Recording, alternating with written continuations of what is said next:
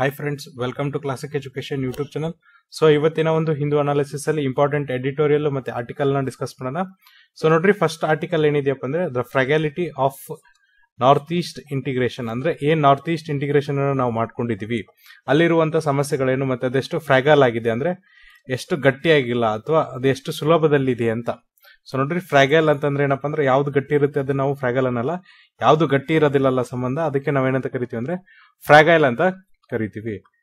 So ನೋಡ್ರಿ, ಇಲ್ಲಿ ಆತರ ಏನ್ ಡಿಸ್ಕಷನ್ ಮಾಡ್ತಾರಂದ್ರೆ ಯಾವ ತರನಾಗಿ ನಾವು ನಮ್ಮ ಈ ಈಶಾನ್ಯ ರಾಜ್ಯಗಳನ್ನ ನಮ್ಮ ಮೇನ್ ಸ್ಟ್ರೀಮ್ ಇಂಡಿಯಾಗೆ ಅಂದ್ರೆ ಭಾರತಕ್ಕೆ ಸೇರಿಸ್ಕೊಂಡ್ವಿ ಮತ್ತೆ ಯಾವ್ಯಾವ ಶೆಡ್ಯೂಲ್ ಅಲ್ಲಿ ಏನೇನ್ ಮೆನ್ಷನ್ ಮಾಡಿದ್ದಾರೆ ಪರ್ಟಿಕ್ಯುಲರ್ ಆಗಿ ಡಿಸ್ಕಷನ್ ಅನ್ನ ಮಾಡ್ತಿದ್ದಾರೆ.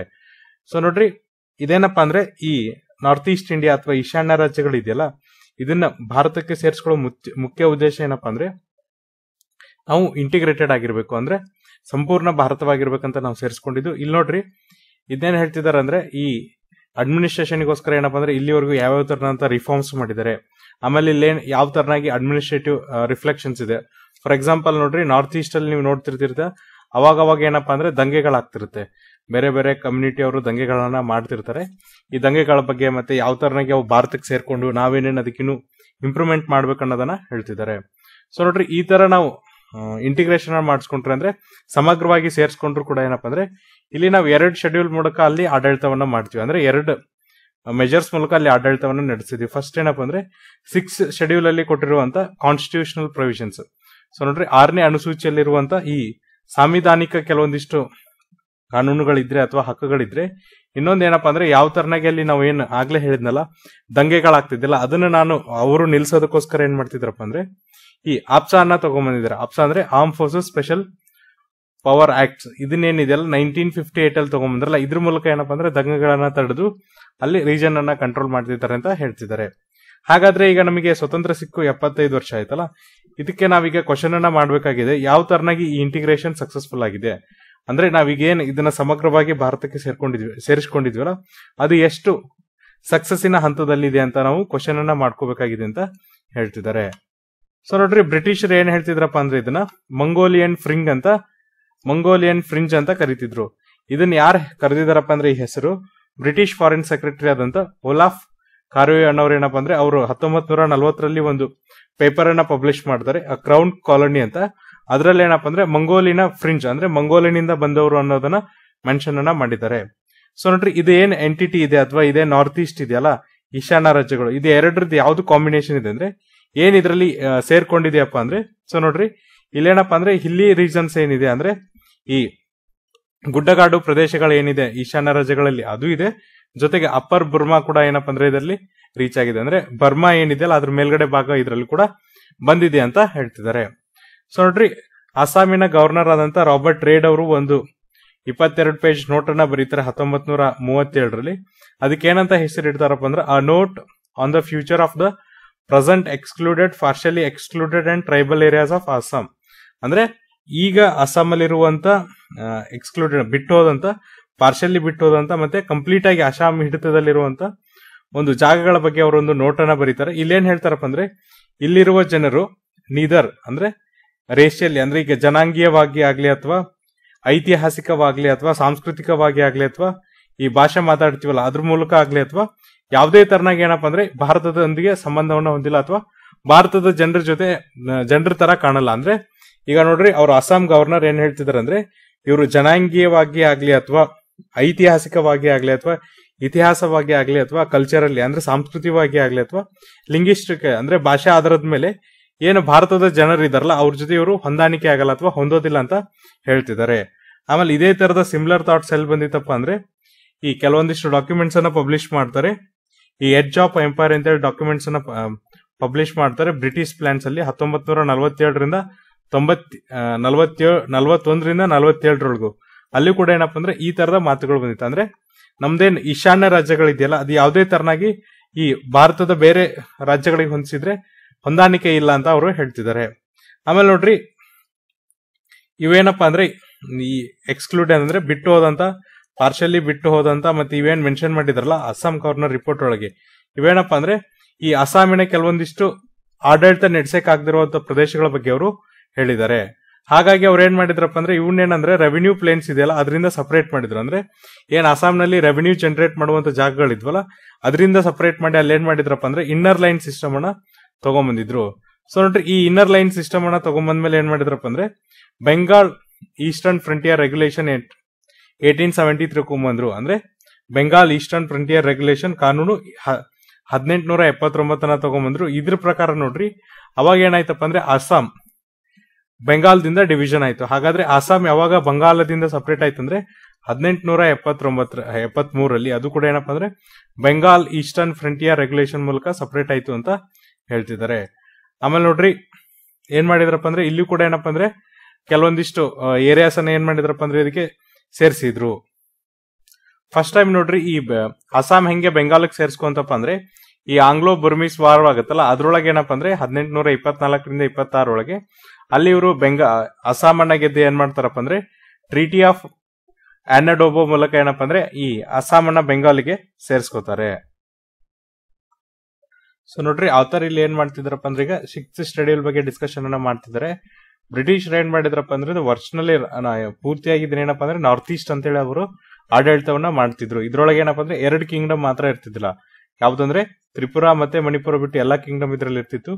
ಇದಾದ್ಮೇಲೆ ಏನಪ್ಪ ಅಂದ್ರೆ ಈ ಕಿಂಗ್ಡಮ್ಗೆ ಏನಪ್ಪಾ ಅಂದ್ರೆ ತ್ರಿಪುರಾ ಮತ್ತೆ ಮಣಿಪುರ ರಾಜ್ಯಗಳಿಗೆ ಯಾವುದೇ ಇನ್ನರ್ ಲೈನ್ ಪರ್ಮಿಟ್ ಅನ್ನ ಅವರು ಇಂಟ್ರೊಡ್ಯೂಸ್ ಮಾಡಲಿಲ್ಲ. ಆಮೇಲೆ ಏನು ಸಪರೇಟಿಂಗ್ ಎಕ್ಸ್ಕ್ಲೂಡೆಡ್ ಏರಿಯಾಸ್ಗೆ ಏನು ಅಡ್ಮಿನಿಸ್ಟ್ರೇಷನ್ ಅಂದ್ರೆ ಆಡಳಿತ ನಡೆಸಿದ್ರಲ್ಲ, ಅದೇ ತರನಾದಂತ ಆಡಳಿತನ ಕೂಡ ಇಲ್ಲಿ ನಡೆಸಿದ್ರು ಅಂತ ಹೇಳ್ತಿದ್ದಾರೆ. ತ್ರಿಪುರಾ ಒಳಗೆ ನೋಡ್ರಿ, ತ್ರಿಪುರಾವನ್ನ ಯಾವ ತರನಾಗಿ ಬ್ರಿಟಿಷರು ವಶಪಡಿಸ್ಕೊಂಡ್ರಪ್ಪ ಅಂದ್ರೆ ಫಸ್ಟ್ ಈ ಚಲ್ಕಾಫ್ ಸಮತಟ್ಟಾದ ಪ್ರದೇಶಗಳು ಏನಿದೆಯಲ್ಲ ರೋಹನ್ಸಾಬಾದ್ ಅದನ್ನ ಫಸ್ಟ್ ಏನ್ ಮಾಡಿದ್ರಪ್ಪ ಅಂದ್ರೆ ಬ್ರಿಟಿಷರು ಬೆಂಗಾಲಕ್ಕೆ ಸೇರಿಸ್ಕೊಂಡ್ರು. ಅದಾದ್ಮೇಲೆ ಏನ್ ಮಾಡಿದ್ರಪ್ಪ ಅಂದ್ರೆ ತ್ರಿಪುರ ರಾಜರಿಗೆ ಲ್ಯಾಂಡ್ ಓನರ್ ಆಗಕ್ಕೆ ಅವಕಾಶ ಕೊಟ್ಟರು ಬಟ್ ಏನಪ್ಪ ಅಂದ್ರೆ ಅದ್ರ ಮೇಲೆ ಅವ್ರದ ಸಾರ್ವಭೌಮತಕ್ಕೆ ಅವಕಾಶವನ್ನ ಕೊಡ್ಲಿಲ್ಲ ಅಂತ ಹೇಳ್ತಿದ್ದಾರೆ. ಇದಾದ್ಮೇಲೆ ನೋಡ್ರಿ ಮಣಿಪುರಲ್ಲಿ ಏನ್ ಮಾಡ್ತಾರಪ್ಪ ಅಂದ್ರೆ ಫಸ್ಟ್ ಇದೇನು ಸೆಂಟ್ರಲ್ ರೆವೆನ್ಯೂ ಪ್ಲೇನ್ಸ್ ಇದಾವಲ್ಲ, ಅಂದ್ರೆ ಏನು ಸಮತಟ್ಟಾಪ್ತ ಪ್ರದೇಶಗಳು ಏನಿದೀವಲ್ಲ ಕೇಂದ್ರ ಪ್ರದೇಶದಲ್ಲಿ, ಮಣಿಪುರದಲ್ಲಿ ಅವನ್ನ ಏನ್ ಮಾಡಿದ್ರಪ್ಪ ಅಂದ್ರೆ ಫಸ್ಟ್ ಇಂಪಾಲ್ ವ್ಯಾಲಿಯಲ್ಲಿ ಅವನ್ ತಗೊಂಡ್ರು. ಯಾವ್ದ್ರ ಮೂಲಕಪ್ಪ ಅಂದ್ರೆ ಸಪರೇಟ್ ಅಡ್ಮಿನಿಸ್ಟ್ರೇಷನ್ ರೀಸನ್ಸ್ ಅಂತೇಳಿ ಹತ್ತೊಂಬತ್ ನೂರ ಏಳರಲ್ಲಿ ಅವನ್ನ ವಶಪಡಿಸ್ಕೊಂಡ್ರು ಅಂತ ಹೇಳ್ತಿದ್ದಾರೆ. ಇದಾದ್ಮೇಲೆ ನೋಡ್ರಿ, ಈ ಕ್ರೌನ್ ಕಾಲನಿ ಏನ್ ಮಾಡತ್ತಪ್ಪ ಅಂದ್ರೆ ಒಂದು ಪ್ಲಾನ್ ಅನ್ನ ಡ್ರಾಪ್ ಮಾಡುತ್ತೆ. ಏನಪ್ಪ ಅಂದ್ರೆ ಎಂಟೈರ್ ರೀಸನ್ಗೆ, ಅಂದ್ರೆ ನಾರ್ತ್ ಈಸ್ಟ್ ರೀಸನ್ ಏನಿದೆಯಲ್ಲ ಅದೇನಪ್ಪ ಅಂದ್ರೆ ಒಂದೇ ತರನಾದಂತ ಅಡ್ಮಿನಿಸ್ಟ್ರೇಷನ್ ಫಿಸಿಬಿಲಿಟಿ ಏನ್ ಕೊಡ್ಬೇಕಿತ್ತಲ್ಲ, ಅದನ್ನ ಅವ್ರೇನ್ ಮಾಡ್ತಾರಪ್ಪ ಅಂದ್ರೆ ಡ್ರಾಪ್ ಮಾಡ್ತಾರೆ. ಸೊ ಇದಕ್ಕೆ ಇನ್ಫ್ಲೂಯೆನ್ಸ್ ಆಗೋದೇನಪ್ಪ ಅಂದ್ರೆ ಸೈಮನ್ಸ್ ಕಮಿಷನ್ ರಿಪೋರ್ಟ್ ಏನಿರುತ್ತಲ್ಲ, ಅವ್ರ ಏನ್ ಮಾಡ್ತಾರಂದ್ರೆ ಎಂಟೈರ್ ರೀಸನಿಂಗ್ ನೀವು ಒಂದೇ ತಡ ಅಂತ ಆಡಳಿತ ನಡೆಸೋಕ್ಕಾಗಲ್ಲ. ಯಾಕಂದ್ರೆ ಹಿಲ್ಲಿ ಟೆರೆನ್ಸ್ ಮತ್ತೆ ಡಿಫಿಕಲ್ಟ್ ಟೆರೆನ್ ಟೆರಿಟರಿ ಇರೋದ್ರಿಂದ ಆಡಳಿತ ನಡೆಸೋದ್ ಕಷ್ಟ ಆಗುತ್ತೆ ಅಂತ ಹೇಳ್ತಾರೆ. ಇದಾದ್ಮೇಲೆ ಏನ್ ಮಾಡ್ತಾರಪ್ಪ ಅಂದ್ರೆ ಒಂದು, ಇವರು ಮೆಮೊರಾಂಡಮ್ ಅನ್ನ ಇನ್ಫ್ಲೂಯೆನ್ಸ್ ಮಾಡಿದ್ ನೋಡ್ಕೋತಾರೆ. ಯಾವ್ದ್ರಿಂದ ಅಂದ್ರೆ ಸೈಮನ್ಸ್ ಕಮಿಷನ್ ಇಂದ. ಇವ್ರು ಏನ್ ಮಾಡ್ತಾರಂದ್ರೆ ಈ ನ್ಯಾಷನಲಿಸ್ಟ್ ನಾಗಾ ಬಾಡಿ ಇದೆಯಲ್ಲ, ಅವ್ರಿಗೆ ಸಪೋರ್ಟ್ ಮಾಡ್ತಾರೆ. ಅಲ್ಲೇನಾಗತ್ತಪ್ಪ ಅಂದ್ರೆ ನಾಗಾ ಕ್ಲಬ್ ಉಟ್ಕೊಳ್ಳುತ್ತೆ ಇವ್ರು ಏನ್ ಮಾಡ್ತಾರಂದ್ರೆ ಆರ್ಗ್ಯೂ ಮಾಡ್ತಾರೆ. ನಾಗಾಸ್ ಏನಿದಾರಲ್ಲ, ಇವ್ರು ಏನಪ್ಪ ಅಂದ್ರೆ ಭಾರತೀಯರ್ ಅಂತ. ಇದಾದ್ಮೇಲೆ ನೋಡ್ರಿ ನೆಕ್ಸ್ಟ್ ಏನಪ್ಪ ಅಂದ್ರೆ ಸಿಕ್ಸ್ತ್ ಶೆಡ್ಯೂಲ್ ಅಲ್ಲಿ ಏನ್ ಮಾಡ್ತಾರೆ ಅಂದ್ರೆ ಇಂಡಿಪೆಂಡೆಂಟ್ ಇಂಡಿಯಾ ಅಂದ್ರೆ ಸ್ವತಂತ್ರ ಭಾರತದಲ್ಲಿ ಏನ್ ಮಾಡ್ತಾರೆ ಅಂದ್ರೆ ಅಡ್ಮಿನಿಸ್ಟ್ರೇಷನ್ ಅಂದ್ರೆ ಆಡಳಿತಕ್ಕೋಸ್ಕರ ಏನ್ ಮಾಡ್ತಾರಪ್ಪ ಅಂದ್ರೆ ಅಸ್ಸಾಮಿಗೆ ಟ್ರೈಬಲ್ ಬೆಲ್ಟ್ ಅಂದ್ರೆ ಪಂಗಡಗಳ ಒಂದು ಬೆಲ್ಟ್ ಅನ್ನ ಮಾಡ್ತಾರೆ. ಈ ವರ್ಕ್ ಅನ್ನ ಯಾರು ತಯಾರು ಮಾಡ್ತಾರಪ್ಪ ಅಂದ್ರೆ ಇಂಗ್ಲಿಷ್ ಆಂಥ್ರೋಪೊಲಿಸ್ಟ್ ಆದಂತ ಬ್ರಿಟಿಷ್ ಬಾರ್ನ್ ಇಂಡಿಯನ್ ಆಂಥ್ರೋಪೊಲಿಸ್ ಅಂತ ವೆರಿಯರ್ ಇಲ್ವಿನ್ ಅವ್ರು ಇದನ್ನೇನ್ ಮಾಡ್ತಾರಪ್ಪ ಅಂದ್ರೆ ರಚನೆಯನ್ನ ಮಾಡ್ತಾರೆ. ಇವ್ರೇನ್ ಹೇಳ್ತಾರಂದ್ರೆ ಈ ಪಂಗಡದ ಜನರು ಏನಿದಾರಲ್ಲ, ಅವ್ರಿಗೆ ಏನಪ್ಪ ಅಂದ್ರೆ ಅವ್ರದೇ ಆದಂತ ಒಂದು ಲೈಫ್ ಸ್ಟೈಲ್ ಇರುತ್ತೆ. ಅವ್ರದೇ ಆದಂತ ಒಂದು ಜೀನಿಯಸ್ ಇರುತ್ತೆ. ಅದನ್ನ ನಾವೇನ್ ಮಾಡ್ಬೇಕಂದ್ರೆ, ಅವರಿಗೆ ಹೆಲ್ಪ್ ಮಾಡಕ್ ಬಿಡ್ಬೇಕು. ಇದರಿಂದ ಅವ್ರು ಏನು ಇನ್ಸ್ಪಿರೇಷನ್ ತಗೊಂಡು ಅಥವಾ ಅದರಿಂದ ಇನ್ಸ್ಪೈರ್ ಆಗಿ ಏನ್ ಕೆಲಸ ಮಾಡ್ತಾರಲ್ಲ, ಅದು ತುಂಬಾ ಚೆನ್ನಾಗಿರುತ್ತೆ ಅಂತ ಅವ್ರಿಗೆ ಹೇಳ್ತಾರೆ. ಇದರಿಂದ ನೋಡ್ರಿ, ಅಸ್ಸಾಂ ಮತ್ತೆ ಈಗ ಕೆಲವೊಂದಿಷ್ಟು ಇನ್ನರ್ ಲೈನ್ ಪರ್ಮಿಟ್ ಇರುವಂತ ರಾಜ್ಯಗಳಲ್ಲಿ ಏನಪ್ಪ ಅಂದ್ರೆ ಅಟೋನಮಸ್ ಡಿಸ್ಟಿಕ್ ಕೌನ್ಸಿಲ್ ಅನ್ನ ಫಾರ್ಮ್ ಮಾಡಿದ್ದಾರೆ ಅಂತ ಹೇಳ್ತಿದ್ದಾರೆ. ಆಮೇಲೆ ಏನಪ್ಪಾ ಅಂದ್ರೆ ಅಲ್ಲಿ ಟ್ರೈಬಲ್ ಕಸ್ಟಮರೀಸ್ ಲಾಸ್ ಏನಿದಾವೆ ಅಂದ್ರೆ ಮುಂಚೆಯಿಂದ ಇದ್ದ ಲಾಸ್ ಏನಿದಾವೆ, ಅಲ್ಲಿ ಏನ್ ಮಾಡಿದ್ದಾರೆ ಅಂದ್ರೆ ಅದಕ್ಕೆ ತುಂಬಾ ನ್ಯಾಯವನ್ನು ಒದಗಿಸಿಕೊಟ್ಟಿದ್ದಾರೆ ಅಥವಾ ನ್ಯಾಯದ ಸ್ಥಾನಮಾನವನ್ನು ಕೊಟ್ಟಿದ್ದಾರೆ ಅಂತ ಹೇಳ್ತಿದ್ದಾರೆ. ಸೊ ನೋಡ್ರಿ, ಇವ್ರು ನಾಲ್ಕಾದವ್ರು ಏನ್ ಮಾಡ್ತಾರಪ್ಪ ಅಂದ್ರೆ ಈ ಸಿಕ್ಸ್ತ್ ಶೆಡ್ಯೂಲ್ ಏನಿದೆ, ಆರನೇ ಅನುಸೂಚಿ ಏನಿದೆಯಲ್ಲ ಅದನ್ನೇನಪ್ಪ ಅಂದ್ರೆ ಒಪ್ಕೊಳ್ಳೋದಿಲ್ಲ. ಹಾಗಾಗಿ ಅವ್ರೇನ್ ಹೇಳ್ತಾರೆ ಅಂದ್ರೆ ನಾವು ಯಾವುದೇ ತರನಾಗಿ ಭಾರತದ ಸಾರ್ವಭೌಮಕ್ಕೆ ಸೇರೋದಿಲ್ಲ ಅಂತ ಹೇಳ್ತಾರೆ. ಇದಾದ್ಮೇಲೆ ನೋಡ್ರಿ ಗವರ್ಮೆಂಟ್ ಆಫ್ ಇಂಡಿಯಾದವ್ರು ಏನ್ ಮಾಡ್ತಾರಪ್ಪ ಅಂದ್ರೆ ಒಂದು ಇನ್ಸರ್ಜೆನ್ಸಿ ಅಂದ್ರೆ ಆಪರೇಷನ್ ಮಾಡ್ತಾರೆ. ಯಾವ್ದ್ರ ಮೂಲಕಪ್ಪ ಅಂದ್ರೆ ಅಪ್ಸಾ ಮೂಲಕ. Arm force special power act ಏನಿದೆಯಲ್ಲ, ಇದ್ರ ಮೂಲಕ ಏನಪ್ಪ ಅಂದ್ರೆ, ಈ ನಾಗಾ ರೆಬಿಲಿಯನ್ಸ್ ಅಥವಾ ನಾಗಾ ಪಂಗಡದವ್ರು ಏನು ಆರ್ಮ್ ದಂಗೆಗಳನ್ನ ಮಾಡ್ತಿದ್ರು ಅಂದ್ರೆ, ಈ ಬಂದೂಕುಗಳ ಮೂಲಕ ಏನು ದಂಗೆಗಳನ್ನ ಮಾಡ್ತಾರಲ್ಲ ಅನ್ ಕಂಪ್ಲೀಟ್ ಆಗಿ ಹೊಡೆದ ಆಮೇಲೆ ಏನ್ ಮಾಡ್ತಾರಪ್ಪ ಅಂದ್ರೆ, ಇದಾದ್ಮೇಲೆ ನಾಗಾ ಡಿಸ್ಟಿಕ್ಸ್ ನೆಲ್ಲ ಮರ್ಜ್ ಮಾಡಿ ಸ್ಪೆಷಲಿ ಯಾವ್ದಂದ್ರೆ ಮೋನ್ ಮತ್ತೆ ಟ್ಯೂಸಾಂಗ್ ಸಬ್ ಡಿವಿಷನ್ ಇದೆಯಲ್ಲ ಅದಕ್ಕೆ ಸೇರಿಸ್ತಾರೆ. ನಾರ್ತ್ ಈಸ್ಟರ್ನ್ ಫ್ರಂಟಿಯರ್ ಏಜೆನ್ಸಿಗೆ ಮೂನ್ ಮತ್ತೆ ಟ್ಯೂಸಾಂಗ್ ರೀಸನ್ಸ್ನ ತೆರೆಸ್ತಾರೆ. ಇದಾದ್ಮೇಲೆ ಈಗ ಅದನ್ನ ಏನಂತ ಕರೀತಾರೆ ಅಂದ್ರೆ ಪ್ರೆಸೆಂಟ್ ಡೇ ಅರುಣಾಚಲ್ ಪ್ರದೇಶ್ ಅಂತ ಕರೀತಾರೆ. ಇದಾದ್ಮೇಲೆ ನೋಡ್ರಿ ಹತ್ತೊಂಬತ್ ನೂರ ಅರವತ್ ಮೂರಲ್ಲಿ ಏನಪ್ಪಾ ಅಂದ್ರೆ ಸಪರೇಟ್ ಆಗಿ ಅದಕ್ಕೊಂದೇನಂದ್ರೆ ನಾಗಾಲ್ಯಾಂಡ್ ರಾಜ್ಯವನ್ನ ಕ್ರಿಯೇಟ್ ಮಾಡ್ಕೊಡ್ತಾರೆ. ಆಮೇಲೆ ಏನಪ್ಪಾ ಅಂದ್ರೆ ನಾಗಾ ಇನ್ಸರ್ಜೆನ್ಸಿ ಏನಿದೆ, ದಂಗೆ ಏನಿದೆಯಲ್ಲ, ಅದು ಬೇರೆ ಬೇರೆ ಫೇಸ್ ಅಲ್ಲಿ ಬೇರೆ ಬೇರೆ ತರನಾಗಿತ್ತು ಅಂತ ಹೇಳ್ತಿದ್ದಾರೆ. ಇದು ಕಳೆದ ಇಪ್ಪತ್ತೈದು ವರ್ಷದಿಂದ ನಡೀತಾ ಇರೋದು ಅಂತ ಹೇಳ್ತಿದ್ದಾರೆ. ಇದಾದ್ಮೇಲೆ ನೋಡ್ರಿ ನೈನ್ಟೀನ್ ಸೆವೆಂಟಿ ಟೂ ಅಲ್ಲಿ ಏನಾಗತ್ತಪ್ಪ ಅಂದ್ರೆ ಕೆಲವೊಂದಿಷ್ಟು ಅಟೋನಮಸ್ ರೀಸನ್ ಇರುತ್ತಲ್ಲ, ಅಂದ್ರೆ ಅಸ್ಸಾಮಲ್ಲೇ ಕೆಲವೊಂದಿಷ್ಟು ಅಟಾನಮಸ್ ರೀಸನ್ ಇರುತ್ತಲ್ಲ, ಅದು ಬೇರೆ ಆಗುತ್ತೆ ಅಂತ ಹೇಳ್ತಾರೆ. ಫಸ್ಟ್ ಏನಾಗತ್ತಪ್ಪ ಅಂದ್ರೆ ಮೇಘಾಲಯ ಏನದು, ಇದ್ದಿದ್ದು ಒಂದು ರಾಜ್ಯ ಆಗುತ್ತೆ. ಇದಾದ್ಮೇಲೆ ಅರುಣಾಚಲ್ ಪ್ರದೇಶ ಮತ್ತೆ ಮಿಜೋರಾಮಿಗೆ ಏನ್ ಮಾಡ್ತಾರೆ ಅಂದ್ರೆ ಯೂನಿಯನ್ ಟೆರಿಟರಿ ಅಂತ ಮಾಡ್ತಾರೆ. ಅಂದ್ರೆ ಕೇಂದ್ರಾಡಳಿತ ಪ್ರದೇಶಗಳಂತ ಮಾಡ್ತಾರೆ. ಅದಾದ್ಮೇಲೆ ನೆಕ್ಸ್ಟ್ ಏನಾಗತ್ತಪ್ಪ ಅಂದ್ರೆ ಈ ಎರಡು ರಾಜ್ಯಗಳನ್ನು, ಈ ಎರಡು ಕೇಂದ್ರಾಡಳಿತ ಪ್ರದೇಶಗಳನ್ನ ಏನ್ ಮಾಡ್ತಾರೆ ಅಂದ್ರೆ ಹತ್ತೊಂಬತ್ ನೂರ ಎಂಬತ್ತೇಳರಲ್ಲಿ. ಯಾವಾಗಂದ್ರೆ ಹತ್ತೊಂಬತ್ ನೂರ ಎಂಬತ್ತೇಳರಲ್ಲಿ ಏನ್ ಮಾಡ್ತಾರಪ್ಪ ಅಂದ್ರೆ ರಾಜ್ಯಗಳಾಗಿ ಪರಿವರ್ತಿಸ್ತಾರೆ. ಆಮೇಲೆ ನೋಡ್ರಿ ತ್ರಿಪುರಾ, ಮಣಿಪುರ ಇವು ಏನಿದಾವಲ್ಲ, ಇವನ್ ಏನ್ ಮಾಡಿರ್ತಾರಪ್ಪ ಅಂದ್ರೆ ಪಾರ್ಟ್ ಸಿ ಸ್ಟೇಟ್ಸ್ ಅಂತ ಮಾಡಿರ್ತಾರೆ. ಯಾವಾಗ ಇಂಡಿಯಾ ಜೊತೆಗೆ ಮರ್ಜ್ ಆದಾಗ. ಯಾಕಂದ್ರೆ ನಿಮಗೆ ಗೊತ್ತು, ಏನ್ ಇವರು ಕ್ರೌನ್ ಪ್ರಿನ್ಸ್ ಅವರು ಅಡ್ಮಿನಿಸ್ಟ್ರೇಷನ್ ಮಾಡ್ತಿದ್ರಲ್ಲ ಅದ್ರಲ್ಲಿ ಏನಪ್ಪಾ ಅಂದ್ರೆ ತ್ರಿಪುರಾ ಮತ್ತೆ ಮಣಿಪುರ್ ಮಾತ್ರ ಅವರು ಸೇರಿಸ್ಕೊಂಡಿದ್ದಿಲ್ಲ. ಇವನ ಪಾರ್ಟ್ ಸಿ ಸ್ಟೇಟ್ಸ್ ಅಂತ ಮಾಡ್ತಾರೆ. ಆಮೇಲೆ ಏನಪ್ಪಾ ಅಂದ್ರೆ ಹತ್ತೊಂಬತ್ ನೂರ ಎಪ್ಪತ್ತೆರಡರಲ್ಲಿ ಅದನ್ನ ರಾಜ್ಯಗಳಂತ ಅವರು ಕನ್ಸಿಡರ್ ಮಾಡ್ತಾರೆ. ಇಲ್ಲಿ ನೋಡ್ರಿ, ಇಷ್ಟೆಲ್ಲ ನಮ್ದು ಇದು ಇದ್ರು ಕೂಡ ಇಲ್ಲಿ ಕ್ವಶನ್ ಇರೋದೇನಪ್ಪ ಅಂದ್ರೆ ನಮ್ಮ ರಾಷ್ಟ್ರೀಯ ಗುರುತು. ಅಂದ್ರೆ ನಾವಿಲ್ಲಿ ಭಾರತ ದೇಶದವರು ಅಲ್ಲ ಅನ್ನೋದು ಗುರುತು ಏನಿದೆಯಲ್ಲ, ಇನ್ನೂ ಕೂಡ ಏನಪ್ಪಾ ಅಂದ್ರೆ ಇಲ್ಲಿ ಕಂಪ್ಲೀಟ್ ಆಗಿ ಸಾಲ್ವ್ ಆಗಿಲ್ಲ. ನಮ್ಮ ನ್ಯಾಷನಲ್ ಐಡೆಂಟಿಟಿ ಏನಪ್ಪಾ ಅಂದ್ರೆ ಇನ್ನೂ ಕೂಡ ಇಲ್ಲಿ ಕಂಪ್ಲೀಟ್ ಆಗಿ ಸಾಲ್ವ್ ಆಗಿಲ್ಲ ಅಂತ ಹೇಳ್ತಿದ್ದಾರೆ. ಸೊ ನೋಡ್ರಿ, ಇದ್ರ ಜೊತೆಗೆ ಏನಪ್ಪಾ ಅಂದ್ರೆ, ಈಗೇನ್ ಅಲ್ಲಿ ಬ್ರಿಟಿಷ್ ಅಧಿಕಾರಿ ಏನು ಮೆನ್ಷನ್ ಮಾಡಿದ್ರಲ್ಲ ಮಂಗೋಲಿಯನ್ ಫ್ರಿಂಚ್ ಅದ್ರ ಜೊತೆಗೆ ಏನಪ್ಪಾ ಅಂದ್ರೆ, ಈಗ ನಾಗಾಲ್ಯಾಂಡ್ ಅಲ್ಲಿ ಆಗಿರುವಂತ ದಂಗೆಗಳು ಏನಾಗ್ತಿದ್ವು ಅಂದ್ರೆ ಸ್ಪೆಷಲಿ ಅದ್ರ ಹತ್ರ ಹತ್ರ ಇರುವಂತ ಅದರ ನೇಬರಿಂಗ್ ರಾಜ್ಯಗಳಾದಂತ, ಅಕ್ಕಪಕ್ಕದ ರಾಜ್ಯಗಳಾದಂತ, ಅಸ್ಸಾಂ ಮತ್ತೆ ಮಣಿಪುರ ಕೂಡ ಹರಡಿದೆ ಅಂತ ಹೇಳ್ತಿದ್ದಾರೆ. ಹಾಗಾಗಿ ನಾವೇನ್ ಮಾಡ್ಬೇಕಪ್ಪ ಅಂದ್ರೆ, ಈ ಟ್ರೆಡಿಷನಲ್ ವರ್ಡ್ಸ್ ಏನಿದೆಯಲ್ಲ ಕಲ್ಚರಲ್ ಪಾಪ್ಯುಲೇಷನ್ ಅದಕ್ಕೆ ಜಾಸ್ತಿ ಒತ್ತನ್ನ ಕೊಡ್ಬೇಕಂತ ಹೇಳ್ತಿದ್ದಾರೆ. ನಾವೇನಾದ್ರೂ ಒಂಚೂರು ಡಿವಿಯೇಷನ್ಸ್ ಆಗ್ಬಿಟ್ರೆ ಏನಾಗತ್ತಪ್ಪ ಅಂದ್ರಲ್ಲಿ, ಈ ಕೆಲವೊಂದಿಷ್ಟು ಫಾರಿನ್ ಹ್ಯಾಂಡ್ಸ್ ಇಂದ ಮತ್ತೇನ್ ಮಾಡ್ತಾರೆ ಅಂದ್ರೆ ನ್ಯಾಷನಲ್ ಇಶ್ಯೂ ತೆಗೆದು ಮತ್ತೆ ರೆಬಿಲಿಯನ್ ಅಥವಾ ದಂಗೆಗಳನ್ನ ಎಬ್ಬಿಸ್ತಾರೆ ಅಂತ ಹೇಳ್ತಿದ್ದಾರೆ. ಇದ್ರ ಜೊತೆಗೆ ನೋಡ್ರಿ, ಅವ್ರು ಏನ್ ಹೇಳ್ತಿದಾರೆ ಅಂದ್ರೆ ಭಾರತ ಸರ್ಕಾರ ಯಾವ ತರನಾಗಿ ಇದನ್ನ ಇನ್ಕ್ಲೂಷನ್ಸ್ ಮಾಡ್ಕೊಂಡಿದೆ, ಅಂದ್ರೆ ಯಾವ ತರನಾಗಿ ಸೇರಿಸ್ಕೊಂಡಿದೆ ಅಂತ ಹೇಳ್ತಿದ್ದಾರೆ ಸೊ ನೋಡ್ರಿ, ಭಾರತಕ್ಕೆ ಸ್ವತಂತ್ರ ಬಂದ್ಮೇಲೆ ಏನಪ್ಪಾ ಅಂದ್ರೆ ನಮಗೆ ಕಾನ್ಫಿಡೆನ್ಸ್ ಜಾಸ್ತಿ ಆಯ್ತು. ಜೊತೆಗೆ ನಾವೇನಿದು ಪಾರ್ಟಿಷನ್ಸ್ ಅಂದ್ರೆ ಭಾರತ ಮತ್ತೆ ಪಾಕಿಸ್ತಾನ ವಿಭಾಗದಿಂದ, ವಿಭಾಗ ಆಗಿದ್ರಿಂದ ನಮಗೆ ನೋವಿತ್ತಲ್ಲ ಆ ಎಕ್ಸ್ಪೀರಿಯನ್ಸ್ ಇರ್ಬೋದು ಮತ್ತೆ ಇನ್ನೊಂದು ದೇಶ ಅಥವಾ ಇನ್ನೊಂದು ರಾಜ್ಯ ನಮ್ಮ ದೇಶದಿಂದ ಬಿಟ್ಟು ಹೋಗಬಾರ್ದು ಅನ್ನೋ ಒಂದು ಉದ್ದೇಶದಿಂದ ನಾವೇನ್ ಮಾಡಿದ್ವಪ್ಪ ಅಂದ್ರೆ ಈ ನ್ಯಾಷನಲ್ ಇಂಟಿಗ್ರೇಷನ್ ಅಥವಾ ಇಂಟಿಗ್ರಿಟಿ ಅನ್ನೋದನ್ನ, ಸಮಗ್ರತೆ ಅನ್ನೋದನ್ನ ಏನಪ್ಪ ಅಂದ್ರೆ ಇನ್ನೂ ಕೂಡ ಜಾಸ್ತಿ ಮಾಡಿದ್ವಿ ಅಂತ ಹೇಳಿದ್ದಾರೆ. ಹಾಗಾಗಿ ನಾವೇನಪ್ಪ ಅಂದ್ರೆ ಕೆಲವೊಂದಿಷ್ಟು ಮಾಡರ್ನೈಸೇಷನ್ ಮಾಡ್ತಾ ಏನ್ ಮಾಡಿದ್ವಿ ಅಂದ್ರೆ, ಈ ಕಲ್ಚರಲ್ ಆಗಿ ಅಥವಾ ಜಸ್ಟ್ ಕಲ್ಚರ್ಲಿ ಅಥವಾ ನ್ಯಾಷನಲ್ ಇಂಟಿಗ್ರೇಷನ್ ಮಾಡಲಿಲ್ಲ, ರಾಷ್ಟ್ರೀಯ ಭಾವೈಕ್ಯತೆ ಮೂಲಕ ಅಥವಾ ಈ ಕಾನ್ಸ್ಟಿಟ್ಯೂಷನ್ ಮೂಲಕ ಏನ್ ಮಾಡಿದ್ವಪ್ಪ ಅಂದ್ರೆ, ಸಮಗ್ರತೆಯನ್ನ ಮಾಡಿದ್ವಿ. ಅಂದ್ರೆ ಪ್ರತಿಯೊಂದು ಟೆರಿಟರಿನೂ ಸೇರಿಸ್ಕೊಂಡ್ರು. ಯಾಕಂದ್ರೆ ಮತ್ತೆ ಬೇರೆ ಯಾವ್ದಾದ್ರು ರಾಜ್ಯಗಳು ಈ ತರನಾಗಿ ಏನಪ್ಪಾ ಅಂದ್ರೆ ಪಾರ್ಟಿಷನ್ಸ್ ಆಗ್ಬಾರ್ದು ಅಂತ. ಅದಕ್ಕೆ ಯಾವ ತರನಾಗಿ ನಾವು ನಾರ್ತ್ ಈಸ್ಟ್ ಇಂಡಿಯಾನ ಸೇರಿಸ್ಕೊಂಡಿವಪ್ಪ ಅಂದ್ರೆ ಇಲ್ಲೊಂದು ಕೌನ್ಸಿಲ್ ಅನ್ನ ತಯಾರು ಮಾಡ್ತೀವಿ. ಆ ಕೌನ್ಸಿಲ್ ಹೆಸರು ಏನಪ್ಪಾ ಅಂದ್ರೆ ನಾರ್ತ್ ಈಸ್ಟರ್ನ್ ಕೌನ್ಸಿಲ್ ಅಂದ್ರೆ ಈಶಾನ್ಯ ರಾಜ್ಯಗಳ ಒಂದು ಕೌನ್ಸಿಲ್ ಅಂತ ಹೇಳಿ ಇದೇನಪ್ಪ ಅಂದ್ರೆ ಫಸ್ಟ್ ಇಲ್ಲಿ ಮುಖ್ಯ ಉದ್ದೇಶ ಇದ್ದಿದ್ದೇನಂದ್ರೆ ಇದನ್ನ ನೈನ್ಟೀನ್ ಸೆವೆಂಟಿ ಒನ್ ಅಲ್ಲಿ ಸೆಟಪ್ ಮಾಡ್ತೀವಿ. ಇದು ಕೇವಲ ಒಂದು ಅಡ್ವೈಸರಿ ಬಾಡಿ ಆಗಿರುತ್ತೆ. ಅಂದ್ರೆ ಜಸ್ಟ್ ಅಡ್ವೈಸ್ ಅನ್ನ ಕೊಡೋದು. ಇದಾದ್ಮೇಲೆ ನೋಡ್ರಿ ಇನಿಷಿಯಲಿ ಯಾರೆಲ್ಲ ಇದ್ರ ಮೆಂಬರ್ಸ್ ಇರ್ತಾರೆ ಅಂದ್ರೆ ಜಸ್ಟ್ ಗವರ್ನರ್ಸ್ ಏನು ಈಶಾನ್ಯ ರಾಜ್ಯಗಳಲ್ಲಿರುವಂತ ಗವರ್ನರ್ಸ್ ಅಷ್ಟೇ ಮೆಂಬರ್ಸ್ ಇರ್ತಾರೆ. ಇದಾದ್ಮೇಲೆ ನೋಡ್ರಿ, ಇವ್ರೇನಪ್ಪ ಅಂದ್ರೆ ಈ ಕೇಂದ್ರ ಸರ್ಕಾರದ ಕಣ್ಣು ಮತ್ತೆ ಕಿವಿಯಾಗಿ ಕೆಲಸ ಮಾಡ್ತಿರ್ತಾರೆ. ಇದಾದ್ಮೇಲೆ ಎರಡ್ ಸಾವಿರದ ಎರಡರಲ್ಲಿ ಏನಪ್ಪ ಅಂದ್ರೆ ಅದಕ್ಕೊಂದು ಅಮೆಂಡ್ಮೆಂಟ್ ಅನ್ನ ತರ್ತಾರೆ. ಅಮೆಂಡ್ಮೆಂಟ್ ಅನ್ನ ತಂದು ಏನ್ ಮಾಡ್ತಾರೆ ಅಂದ್ರೆ ಅಲ್ಲಿ ಎನ್ ಆಕ್ಟ್ ಅನ್ನ ಚೇಂಜ್ ಮಾಡ್ತಾರೆ. ಈಗ ಏನ್ ಮಾಡ್ತಾರೆ ಅಂದ್ರೆ, ಇದೇನ್ ಅಡ್ವೈಸರಿ ರೋಲ್ ಇತ್ತಲ್ಲ ಅದ್ರ ಬದ್ಲಿ ಏನ್ ಮಾಡ್ತಾರಪ್ಪ ಅಂದ್ರೆ ಇನ್ಫ್ರಾಸ್ಟ್ರಕ್ಚರ್ ಪ್ಲಾನಿಂಗ್ ಅಂದ್ರೆ ಅಲ್ಲೇನಾದ್ರೂ ದೊಡ್ಡ ದೊಡ್ಡ ಪ್ರಾಜೆಕ್ಟ್ಸ್ ಆಗ್ಬೇಕಾರೆ ಅದಕ್ಕೋಸ್ಕರ ಪ್ಲಾನ್ ಮಾಡೋದನ್ನ ಯಾರು ಮಾಡ್ತಾರಪ್ಪ ಅಂದ್ರೆ ಈ ನಾರ್ತ್ ಈಸ್ಟ್ ಕೌನ್ಸಿಲ್ ಅನ್ನ ಮಾಡಕ್ ಮಾಡ್ತಾರೆ. ಹಾಗಾಗಿ ಇದು ಯಾವಾಗ ಚೇಂಜ್ ಆಗುತ್ತೆ ಅಂದ್ರೆ ಎರಡ್ ಸಾವಿರದ ಎರಡರಲ್ಲಿ ಚೇಂಜ್ ಆಗುತ್ತೆ.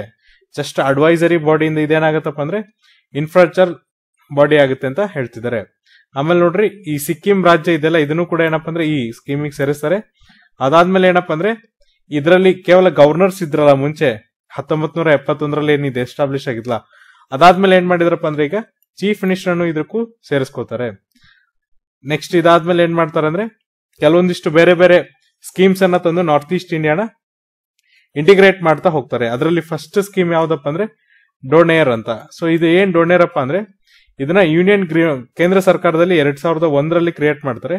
ಎರಡ್ ಸಾವಿರದ ನಾಲ್ಕಕ್ಕೆ ಇದಕ್ಕೋಸ್ಕರ ಏನಪ್ಪ ಅಂದ್ರೆ ಒಂದು ಫುಲ್ ಫಿನಿಶ್ಡ್ನೇ ಇಡ್ತಾರೆ. ಇದಾದ್ಮೇಲೆ ನೋಡ್ರಿ, ಯಾವುದೇ ತರನ ಅಂತ ಹೊರ ರಾಜ್ಯದ ಅಥವಾ ಹೊರದೇಶಗಳ ಕೈಗಳಲ್ಲಿ ಕೆಲಸ ಮಾಡಬಾರ್ದಂತ ಈ ಡೊನೇರ್ ಇಲ್ಲಿ ತಗೊಂಡ್ಬರ್ತಾರೆ ಇದಾದ್ಮೇಲೆ ನೋಡ್ರಿ ಹತ್ತೊಂಬತ್ ನೂರ ತೊಂಬತ್ತೊಂದರಲ್ಲಿ ಏನಪ್ಪ ಅಂದ್ರೆ ಇಂಡಿಯಾ ಒಂದು ಹೊಸ ಪಾಲಿಸಿ ತರುತ್ತೆ.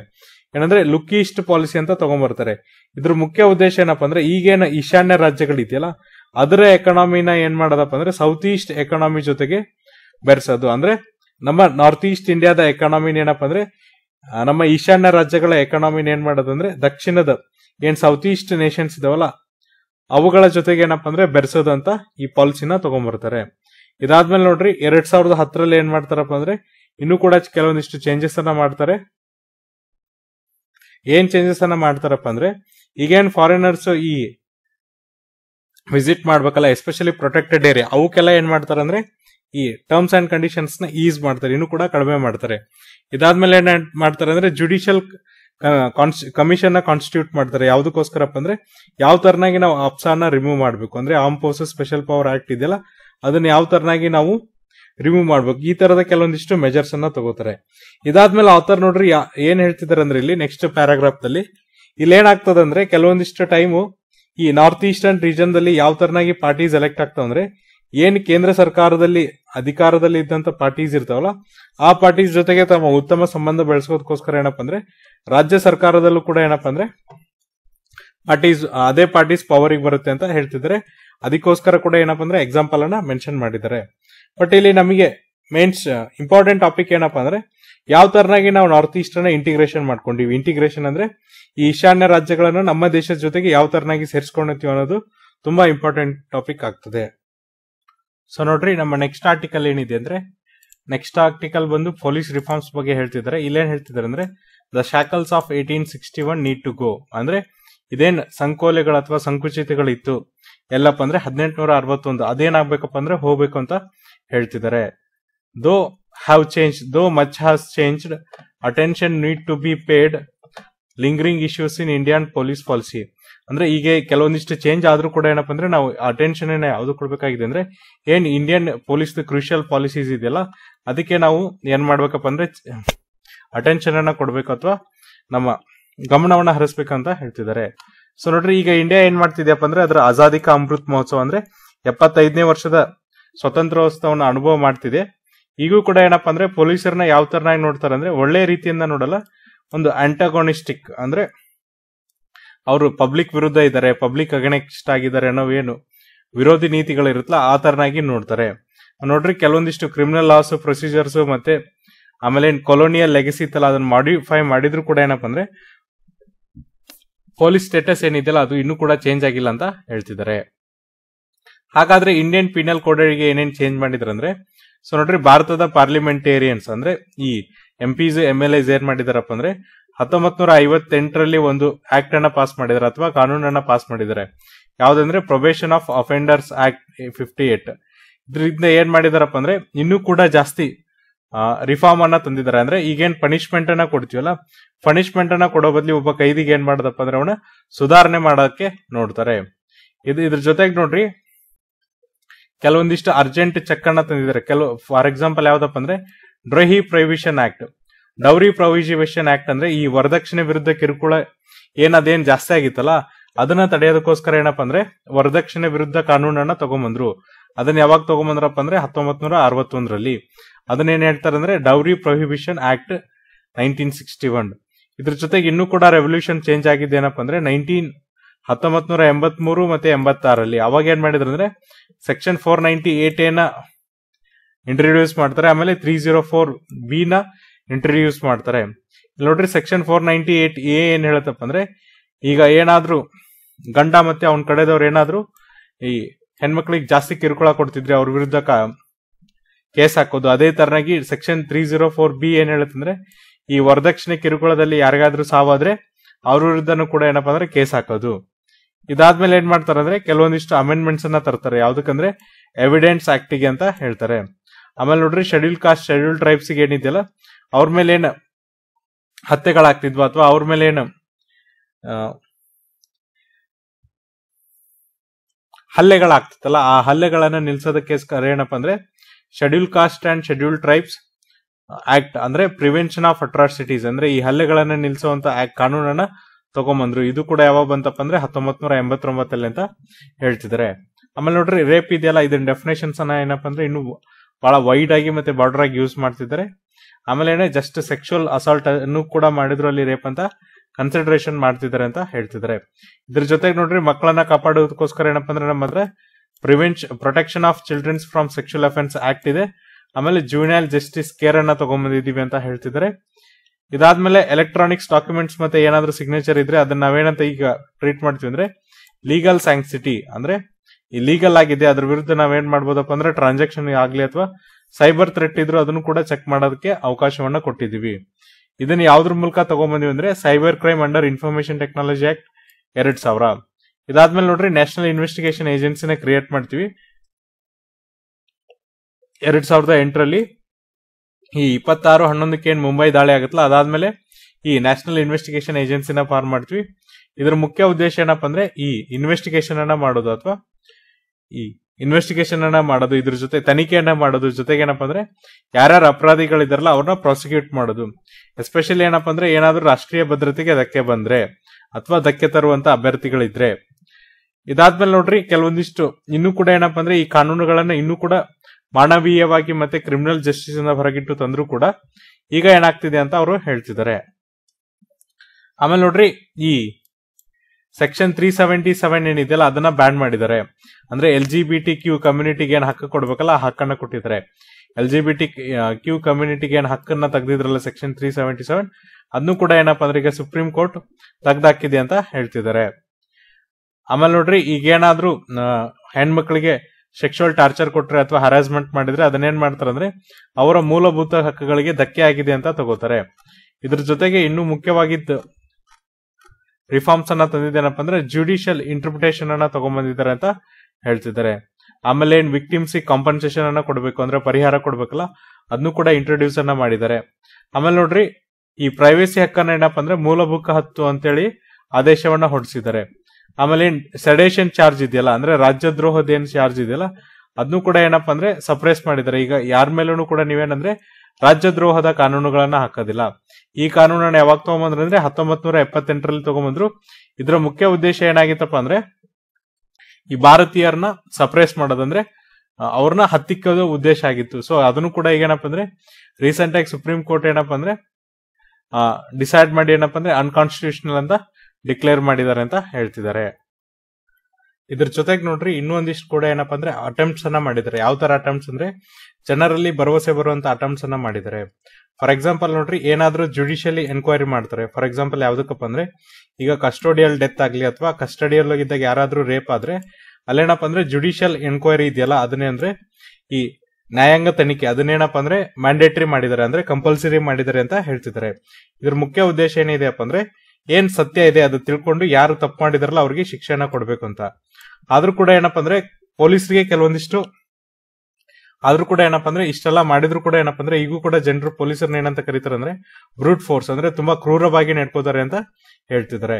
ಇದ್ರ ಜೊತೆಗೆ ನೋಡ್ರಿ ಏನ್ ನಂಬಿಕೆ ಇರ್ಬೇಕಲ್ಲ ಟ್ರಸ್ಟ್ ಡೆಫಿಸಿಟ್ ಅಂದ್ರೆ ನಂಬಿಕೆನ ಎಷ್ಟು ಕಳ್ಕೊಂಡಿದ್ದಾರೆ ಅಂದ್ರೆ ಇವರು ಜನರ ಹತ್ರ ಅಂದ್ರೆ ಅದನ್ನ ಈಗೂ ಕೂಡ ನಮ್ಗೆ ಏನಪ್ಪ ಅಂದ್ರೆ ಸರಿ ಮಾಡಕ್ ಆಗ್ತಿಲ್ಲ ಅಂತ ಹೇಳ್ತಿದ್ದಾರೆ. ಈಗ ನೋಡ್ರಿ ಫಾರ್ ಎಕ್ಸಾಂಪಲ್ ಏನಪ್ಪ ಅಂದ್ರೆ ಹ್ಯಾಂಡ್ ಕಫ್ಸ್ ಇದೆಯಲ್ಲ, ಅಂದ್ರೆ ಹ್ಯಾಂಡ್ ಕಾಫ್ಸ್ ಅಂದ್ರೆ ಕೈ ಕೋಳ ತೊಡಸ್ತಾರಲ್ಲ, ಅದನ್ನ ಕೂಡ ಮೊದ್ಲಿನಕ್ಕಿಂತ ತಗ್ಸಿದ್ದಾರೆ. ಅದಾದ್ಮೇಲೆ ನೋಡ್ರಿ, ನಿಮ್ಗೆ ಯಾರಾದ್ರೂ ತನಿಖೆ ಮಾಡ್ಬೇಕಾರೆ, ಅದು ಎಸ್ಪೆಷಲಿ ಪೊಲೀಸರು ತನಿಖೆ ಮಾಡ್ಬೇಕಾರೆ, ಅಲ್ಲೇನಪ್ಪ ಅಂದ್ರೆ ಈಗ ಒಬ್ರು ಲಾಯರ್ ಇರ್ಬೇಕಂತ ಹೇಳ್ತಿದ್ದಾರೆ. ಆಮೇಲೆ ಏನಪ್ಪ ಅಂದ್ರೆ ನಿಮಗೆ ಬ್ರೂಟಲ್ ಆಗಿ ಅಂದ್ರೆ ತುಂಬಾ ಕ್ರೂರವಾಗಿ ನೆಟ್ಕೋಬಾರ್ದು ಅಂತೇಳಿ ಪ್ರತಿಯೊಂದು ಪೊಲೀಸ್ ಸ್ಟೇಷನ್ ಅಲ್ಲಿ ಏನಪ್ಪ ಅಂದ್ರೆ ಸಿಸಿಟಿವಿ ಕ್ಯಾಮ್ರಾನ ಇನ್ಸ್ಟಾಲ್ ಮಾಡಿದ್ದಾರೆ. ಜೊತೆಗೆ ಈ ಹ್ಯೂಮನ್ ರೈಟ್ಸ್ ಅಂದ್ರೆ ಮಾನವ ಹಕ್ಕುಗಳ ಆಯೋಗ ಇದೆಯಲ್ಲ ಅವರು ಏನಪ್ಪಾ ಅಂದ್ರೆ ಈ ಪೊಲೀಸರ ಮೇಲೆ ಯಾವಾಗ್ಲೂ ಒಂದು ಕಣ್ಣನ್ನ ಇಟ್ಕೊಂಡ್ ಕೊಟ್ಟಿರ್ತಾರೆ ಅಂತ ಹೇಳ್ತಿದ್ದಾರೆ. ಇಷ್ಟಾದ್ರೂ ಕೂಡ ಏನಪ್ಪಾ ಅಂದ್ರೆ ಜನರು ಇನ್ನೂ ಪೊಲೀಸರನ್ನ ಅವರು ಕುರಿರಿ ಅಂತ ತಿಳ್ಕೊತಾರೆ ಅಂತ ಹೇಳ್ತಿದ್ದಾರೆ. ಆಮೇಲೆ ನೋಡ್ರಿ, ಇದೇನ್ ಜುಡಿಷಿಯಲ್ ಅಪ್ರಿಹೆನ್ಷನ್ ಆಕೆ ಆಗಿರುತ್ತೆ. ಅಂದ್ರೆ ಜುಡಿಷಿಯರಿ ಇಂಟರ್ವೆನ್ಷನ್ ಮಾಡೇ ಮಾಡಿ, ಅಂದ್ರೆ ನ್ಯಾಯಾಂಗ ಅವಾಗ ಅವಾಗ ಇಂಟರ್ವೆನ್ಷನ್ ಮಾಡಿ ಏನ್ ಕಾನೂನುಗಳನ್ನು ಕೊಟ್ಟರು ಕೂಡ ಏನಪ್ಪಾ ಅಂದ್ರೆ ಇನ್ನೂ ಕೂಡ ನಾವು ಪೊಲೀಸರನ್ನ ಏನಂತಪ್ಪ ಅಂದ್ರೆ ತುಂಬಾ ಕ್ರೂರಿಗಳಂತ ಟ್ರೀಟ್ ಮಾಡ್ತೀವಿ ಅಂತ ಅವರು ಹೇಳ್ತಿದ್ದಾರೆ. ಇದಾದ್ಮೇಲೆ ನೋಡ್ರಿ ಏನಾಗಿದೆ ಅಂದ್ರೆ ಕೆಲವೊಂದಿಷ್ಟು ಕಮಿಟೀನ್ಸ್ ಕೂಡ ಮಾಡಿದ್ದಾರೆ. ಆಮೇಲೆ ರೆಕಮೆಂಡೇಶನ್ಸ್ ಮಾಡಿದ್ದಾರೆ. ಪರ್ಟಿಕ್ಯುಲರ್ಲಿ ಏನಪ್ಪ ಅಂದ್ರೆ ಈ ಪೊಲೀಸರ ಬಗ್ಗೆ, ಆಮೇಲೆ ಪೊಲೀಸ್ ಫೋರ್ಸಸ್ ಬಗ್ಗೆ ಏನಪ್ಪ ಅಂದ್ರೆ ರೆಕಮೆಂಡೇಶನ್ಸ್ ಅನ್ನ ಮಾಡಿದ್ದಾರೆ.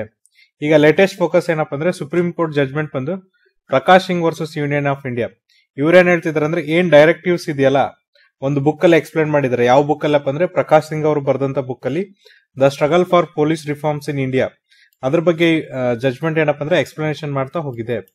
ಸೊ ನೋಡ್ರಿ, ಈ ಬುಕ್ ಹೆಸರು ಏನಪ್ಪ ಅಂದ್ರೆ struggle for police reforms in India ಇಲ್ಲಿ ಏನ್ ಹೇಳ್ತಾರಂದ್ರೆ, ಯಾವ ತರನಾಗಿ ಪೊಲೀಸರು ಜನರ ಆಡಳಿತವನ್ನ ನಡೆಸ್ತಾರೆ ಅನ್ನೋದನ್ನ ಹೇಳ್ತಿದ್ದಾರೆ. ಹಾಗಾಗಿ ಇದೇನ್ ಪೊಲೀಸ್ ರೂಲ್ಸ್ ಇದೆಯಲ್ಲ, ಅಂದ್ರೆ ಪೊಲೀಸರನ್ನ ನಾವೇನು ರೂಲ್ ಮಾಡೋರು ಅಥವಾ ನಮ್ಮನ್ನ ದಂಡ ಅಂತ ಟ್ರೀಟ್ ಮಾಡ್ತೀವಲ್ಲ, ಅದ್ರ ಬದಲು ಏನಪ್ಪ ಅಂದ್ರೆ ಪೀಪಲ್ ಪೊಲೀಸ್ ಮಾಡ್ಬೇಕಂತ ಒಂದು ಪಿ ಐ ಎಲ್ ಅಂದ್ರೆ ಸಾರ್ವಜನಿಕ ಮೊಕದ್ದಮೆ ಅಥವಾ ನಾವೇನ ಸಾರ್ವಜನಿಕ ಹಿತಾಸಕ್ತಿಯನ್ನ ಫೈಲ್ ಮಾಡ್ತಾರೆ. ಆಮೇಲೆ ನೋಡ್ರಿ ಪ್ರಕಾಶ್ ಸಿಂಗ್ ಅವರು ಏನ್ ಹೇಳ್ತಾರೆ ಅಂದ್ರೆ ಈಗೇನು ಇನ್ವೆಸ್ಟಿಗೇಷನ್ ಇದೆಯಲ್ಲ, ಅದನ್ನ ಪೊಲೀಸ್ ಫೋರ್ಸ್ ಇಂದ ಸಪರೇಟ್ ಮಾಡಬೇಕು ಅಂತ ಹೇಳ್ತಾರೆ. ಇದರಿಂದ ಏನಪ್ಪಾ ಅಂದ್ರೆ ನಮಗೆ ಜಸ್ಟ್ ಕೆಲವೊಂದಿಷ್ಟು ಅಡಿಷನಲ್ ಪೋಸ್ಟ್ ಬೇಕಾಗುತ್ತೆ ಬಟ್ ಏನಪ್ಪಾ ಅಂದ್ರೆ ಅಷ್ಟು ಬ್ರೂಟಲ್ ಆಗಿರಲ್ಲ ಅಂತ ಹೇಳ್ತಿದ್ದಾರೆ. ಅದಾದ್ಮೇಲೆ ನೋಡ್ರಿ, ಈ ಪೊಲೀಸ್ ಅನ್ನೋ ಸಬ್ಜೆಕ್ಟ್ ಏನಪ್ಪಾ ಅಂದ್ರೆ ಸ್ಟೇಟ್ ಸಬ್ಜೆಕ್ಟ್ ಇದ್ರೂ ಕೂಡ ಯಾವುದೇ ಸ್ಟೇಟ್ ಗೌರ್ಮೆಂಟ್ ಏನಪ್ಪಾ ಅಂದ್ರೆ ಇದ್ರ ಬಗ್ಗೆ, ಈ ರಿಫಾರ್ಮ್ಸ್ ಬಗ್ಗೆ ಇಲ್ಲಿ ಕೂಡ ತಲೆ ಕೆಡಿಸ್ಕೊಂಡಿಲ್ಲ ಅಂತ ಹೇಳ್ತಿದ್ದಾರೆ. ಆಮೇಲೆ ನೋಡ್ರಿ ಫಸ್ಟ್ ಪೊಲೀಸ್ ಆಕ್ಟ್ ಬಂದಿದ್ದು ಯಾವಾಗಪ್ಪ ಅಂದ್ರೆ ಈ ಕಾನೂನು ಹದಿನೆಂಟುನೂರ ಅರವತ್ತೊಂದರಲ್ಲಿ ಇದನ್ನೇನಪ್ಪ ಅಂದ್ರೆ ಹತ್ತೊಂಬತ್ ನೂರ ಎರಡು ಮೂರಲ್ಲಿ ಏನಪ್ಪ ಅಂದ್ರೆ ಎಲ್ಲಾ ಪ್ರಾವಿನ್ಸ್ಗೂ ಅಪ್ಲೈ ಆಗಂಗೆ ಮಾಡಿದ್ರು. ಅಂದ್ರೆ ರೆಕಮೆಂಡೇಶನ್ ಮೂಲಕ ಏನಪ್ಪ ಅಂದ್ರೆ ಈ ಕಾನೂನನ್ನ ಅಪ್ಲೈ ಮಾಡಕ್ ಹೇಳಿದ್ರು ಅಂತ ಹೇಳ್ತಿದ್ದಾರೆ. ಇದಾದ್ಮೇಲೆ ನೋಡ್ರಿ ಹತ್ತೊಂಬತ್ ನೂರ ತೊಂಬತ್ತೆರಡು ಮೂರಲ್ಲಿ ಏನಾಗತ್ತಪ್ಪ ಅಂದ್ರೆ ಹತ್ತೊಂಬತ್ ನೂರ ಎರಡು ಮೂರಲ್ಲಿ ಏನಾಗತ್ತಪ್ಪ ಅಂದ್ರೆ ಒಂದು ಕಮಿಟಿ ಬರುತ್ತೆ. ಸೋಲಿ ಜೆ ಸೋರ್ಬೆ, ಇವ್ರೇನಪ್ಪ ಅಂದ್ರೆ ಕೆಲವೊಂದಿಷ್ಟು ರೆಕಮೆಂಡೇಶನ್ಸ್ನ ಕೊಡ್ತಾರೆ. ಅವ್ನು ಇಲ್ಲಿವರೆಗೂ ಕೂಡ ಏನಪ್ಪಾ ಅಂದ್ರೆ ಅಡಾಪ್ಟ್ ಮಾಡ್ಕೊಂಡಿಲ್ಲ ಅಂತ ಹೇಳ್ತಿದ್ದಾರೆ. ಆಮೇಲೆ ನೋಡ್ರಿ, ಇನ್ನೂ ಒಂದು ನಮ್ದು ಐರನಿ ಏನ್ ಅನ್ಬೋದಪ್ಪ ಅಂದ್ರೆ ಪೊಲೀಸ್ ಫೋರ್ಸಸ್ ಮತ್ತೆ ಈ ಮ್ಯಾಜಿಸ್ಟ್ರೇಟ್ ಕೆಲವೊಂದಿಷ್ಟು ಏನಪ್ಪಾ ಅಂದ್ರೆ ಇನ್ನು ಹಳೆ ರೂಲ್ಸ್ ನಾವು ಫಾಲೋ ಮಾಡ್ತಿದೀವಿ ಅಂತ ಹೇಳ್ತಿದ್ದಾರೆ. ಸೊ ನೋಡ್ರಿ, ಈ ಪೊಲೀಸ್ ಸಿಸ್ಟಮ್ ಇದೆಯಲ್ಲ, ಇದನ್ನ ಫಸ್ಟ್ ಇಂಗ್ಲೆಂಡ್ ಅಲ್ಲಿ ಹದಿನೆಂಟುನೂರ ಇಪ್ಪತ್ತೊಂಬತ್ತರ ಮೇಲೆ ಏನಪ್ಪಾ ಅಂದ್ರೆ ಎಸ್ಟಾಬ್ಲಿಷ್ ಇತ್ತಲ್ಲ, ಇಪ್ಪತ್ತೊಂಬತ್ತರಿಗಿಂತ ಮುಂಚೆ, ಆಮೇಲೆ ಏನ್ ಮಾಡಿದ್ರಪ್ಪ ಅಂದ್ರೆ ತೆಗ್ದಾಕಿದ್ರು ಬಟ್ ಏನಂದ್ರೆ ಇಂಡಿಯಾದಲ್ಲಿ ತೆಗಿಬೇಕಂದ್ರೆ ಇದೇನ್ ದಂಗೆ ಆಯ್ತಲ್ಲ, ಹದಿನೆಂಟುನೂರ ಐವತ್ತೇಳು. ಅದನ್ನ ದಂಗೆಯಲ್ಲಿ ಗಮನದಲ್ಲಿ ಇಟ್ಕೊಂಡು ಏನಪ್ಪ ಅಂದ್ರೆ ಈ ಆಕ್ಟ್ ಅನ್ನ ತೆಗ್ದಾಕ್ಲಿಲ್ಲ ಅಂತ ಹೇಳ್ತಿದ್ದಾರೆ. ಅದಕ್ಕೋಸ್ಕರ ಅವ್ರು ಏನ್ ಮಾಡಿದ್ರು ಅಂದ್ರೆ ಪೊಲೀಸರ್ನ ಏನ್ ಮಾಡಿದ್ರಪ್ಪ ಅಂದ್ರೆ ಈ ಬ್ರಿಟಿಷ್ ರೂಲ್ಸ್ ಅಲ್ಲಿ ಮೇಂಟೆನೆನ್ಸ್ ಗೋಸ್ಕರ ಇಟ್ಕೊಂಡ್ರು ಅಂದ್ರೆ ಪಬ್ಲಿಕ್ ಆರ್ಡರ್ ಮೇಂಟೆನೆನ್ಸ್ಗೋಸ್ಕರ ಇಟ್ಕೊಂಡ್ರು. ಅದ್ರ ಜೊತೆಗೆ ನೋಡ್ರಿ ಕೆಲವೊಂದಿಷ್ಟು ಈಗೂ ಕೂಡ ಪ್ರೊವಿನ್ಸಸ್ ಯಾವ ತರ ಇದಾವೆ ಅಥವಾ ಪ್ರೊವಿಷನ್ಸ್ ಯಾವ ತರ ಇದಾವಂದ್ರೆ ಈಗ ಫಾರ್ ಎಕ್ಸಾಂಪಲ್ ಒಬ್ಬ ಜಿಲ್ಲಾ ಪೊಲೀಸ್ ವರಿಷ್ಠಾಧಿಕಾರಿ ಯು ಪಿ ಅಲ್ಲಿ ತನ್ನ ಸ್ಟೇಷನ್ ಹೌಸ್ ಆಫೀಸರ್ನ ಟ್ರಾನ್ಸ್ಫರ್ ಮಾಡ್ಬೇಕಂದ್ರೆ ಅಲ್ಲೇನಪ್ಪ ಅಂದ್ರೆ ಡಿಸ್ಟ್ರಿಕ್ಟ್ ಮ್ಯಾಜಿಸ್ಟ್ರೇಟ್ ಏನಿರ್ತಾರಲ್ಲ, ಡಿ ಎಂ ಅಥವಾ ಡಿ ಸಿ, ಅವ್ರ ಪರ್ಮಿಷನ್ ಬೇಕು ಅಂತ ಹೇಳ್ತಿದ್ದಾರೆ. ಅದೇ ತರನಾಗಿ ಛತ್ತೀಸ್ಗಢದಲ್ಲಿ ಏನಪ್ಪ ಅಂದ್ರೆ ಸುಪ್ರೀಡೆಂಟ್ ಆಫ್ ಪೊಲೀಸ್ ಏನಾದ್ರೂ ವರ್ಕ್ ರಿಪೋರ್ಟ್ ಕೊಡ್ಬೇಕಿದ್ರೆ ಅದನ್ನ ಯಾರು ಕೊಡ್ತಾರಂದ್ರೆ ಈಗೂ ಕೂಡ ಏನಪ್ಪ ಅಂದ್ರೆ ಒಬ್ಬ ಐ ಎ ಎಸ್ ಅಧಿಕಾರಿ ಅಥವಾ ಡಿಸ್ಟಿಕ್ ಕಲೆಕ್ಟರ್ ಕೊಡ್ತಾರೆ ಅಥವಾ ಡಿಸ್ಟಿಕ್ ಮ್ಯಾಜಿಸ್ಟ್ರೇಟ್ ಕೊಡ್ತಾರೆ ಅಂತ ಹೇಳ್ತಿದ್ದಾರೆ. ಹಾಗಾಗಿ ಇಲ್ಲಿ ಏನ್ ಮಾಡಿದಾರೆ ಅಂದ್ರೆ ಪೊಲೀಸರ್ನು ಕೂಡ ಏನಪ್ಪ ಅಂದ್ರೆ ಇನ್ನೊಂದು ಕಾನೂನುಗಳಿಗೆ ಸಬಾರ್ಡಿನೇಟ್ ಮಾಡ್ಕೊಂಡಿದ್ದಾರೆ. ಅಂದ್ರೆ ಈಗ ಬ್ರಿಟಿಷರ ಕಾಲದಲ್ಲಿ ಏನಾಕಿತ್ತಪ್ಪ ಅಂದ್ರೆ ಈ ಡಿ ಎಂ ಹೇಳಿದ್ದೆ ಫೈನಲ್ ಆಗಿತ್ತು ಅಲ್ಲಿ ಏನಪ್ಪ ಅಂದ್ರೆ ಲಾ ಅಂಡ್ ಆರ್ಡರ್ನ ಮೇಂಟೈನ್ ಮಾಡೋದಕ್ಕೋಸ್ಕರ ಪೊಲೀಸರ್ನ ಏನ್ ಸಬಾರ್ಡಿನೇಟ್ ಮಾಡ್ಕೊಂಡಿದ್ರಲ್ಲ, ಅದನ್ನ ನೀವು ಕೂಡ ಮುಂದುವರ್ಸ್ಕೊಂಡು ಹೋಗ್ತಿದ್ದಾರೆ ಅಂತ ಹೇಳ್ತಿದ್ದಾರೆ. ಇದಕ್ಕೋಸ್ಕರ ಏನಪ್ಪ ಅಂದ್ರೆ ಸುಪ್ರೀಂ ಕೋರ್ಟ್ ರೆಕಮೆಂಡೇಶನ್ಸ್ನ ಮಾಡಿ ರಿಫಾರ್ಮ್ಸ್ನ ಮಾಡಿದ್ರು ಕೂಡ ಮಾಡ್ರಿ ಅಂತ ಹೇಳಿದ್ರು ಕೂಡ ಏನಪ್ಪ ಅಂದ್ರೆ ಇನ್ನೂ ಕೂಡ ಅಡಾಪ್ಟ್ ಮಾಡ್ಕೊಂಡಿಲ್ಲ ಅಂತ ಅವರು ಹೇಳ್ತಿದ್ದಾರೆ. ಸೊ ನೋಡ್ರಿ, ಇಲ್ಲಿ ಏನಪ್ಪ ಅಂದ್ರೆ ಏಟೀನ್ ಸಿಕ್ಸ್ಟಿ ಒನ್ ಸಿಗ್ನಿಫಿಕೆನ್ಸ್ನ ಇಲ್ಲಿ ಡಿಸ್ಕಷನ್ ಮಾಡ್ತಾ ಹೋಗ್ತಾರೆ. ಸೊ ನೋಡ್ರಿ, ಈ ಏಟೀನ್ ಸಿಕ್ಸ್ಟಿ ಒನ್ ಅಲ್ಲಿ ಏನ್ ಪೊಲೀಸ್ ರಿಫಾರ್ಮ್ಸ್ ಬರುತ್ತಲ್ಲ ಇಂಡಿಯಾದಲ್ಲಿ ಅದ್ರ ಬಗ್ಗೆ ಅವರು ಹೇಳ್ತಾ ಹೋಗ್ತಾರೆ. ಫಸ್ಟ್ ಪೊಲೀಸ್ ಅನ್ನ ಇಂಟ್ರೊಡ್ಯೂಸ್ ಮಾಡಿದ ಯಾವಾಗಪ್ಪ ಅಂದ್ರೆ ಹದಿನೆಂಟುನೂರ ಮೂವತ್ನಾಲ್ಕರಲ್ಲಿ. ಇದಾದ್ಮೇಲೆ ಏನ್ ಮಾಡ್ತಾರಂದ್ರೆ ಹದಿನೆಂಟುನೂರ ಐವತ್ತೇಳರಲ್ಲಿ ಏನು ದಂಗೆ ಆಗತ್ತಲ್ಲ, ಅದನ್ನ ನೋಡ್ಕೊಂಡು ಏನ್ ಮಾಡ್ತಾರಪ್ಪ ಅಂದ್ರೆ ಒಂದು ಆರ್ಗನೈಸ್ಡ್ ಪೊಲೀಸ್ ಫೋರ್ಸ್ಗೆ ಅವ್ರು ಏನಪ್ಪ ಅಂದ್ರೆ ಫೌಂಡೇಶನ್ ಅನ್ನ ಹಾಕ್ತಾರೆ. ಅದು ವೀಕ್ ಆಗಿದ್ರು ಕೂಡ ಏನಪ್ಪ ಅಂದ್ರೆ ಅಂದ್ರೆ ಅಷ್ಟು ಸ್ಟ್ರಾಂಗ್ ಆಗಿರಲ್ಲ, ಅಂದ್ರೂ ಕೂಡ ಏನಪ್ಪ ಅಂದ್ರೆ ಒಂದು ಫೌಂಡೇಶನ್ ಹಾಕ್ತಾರೆ.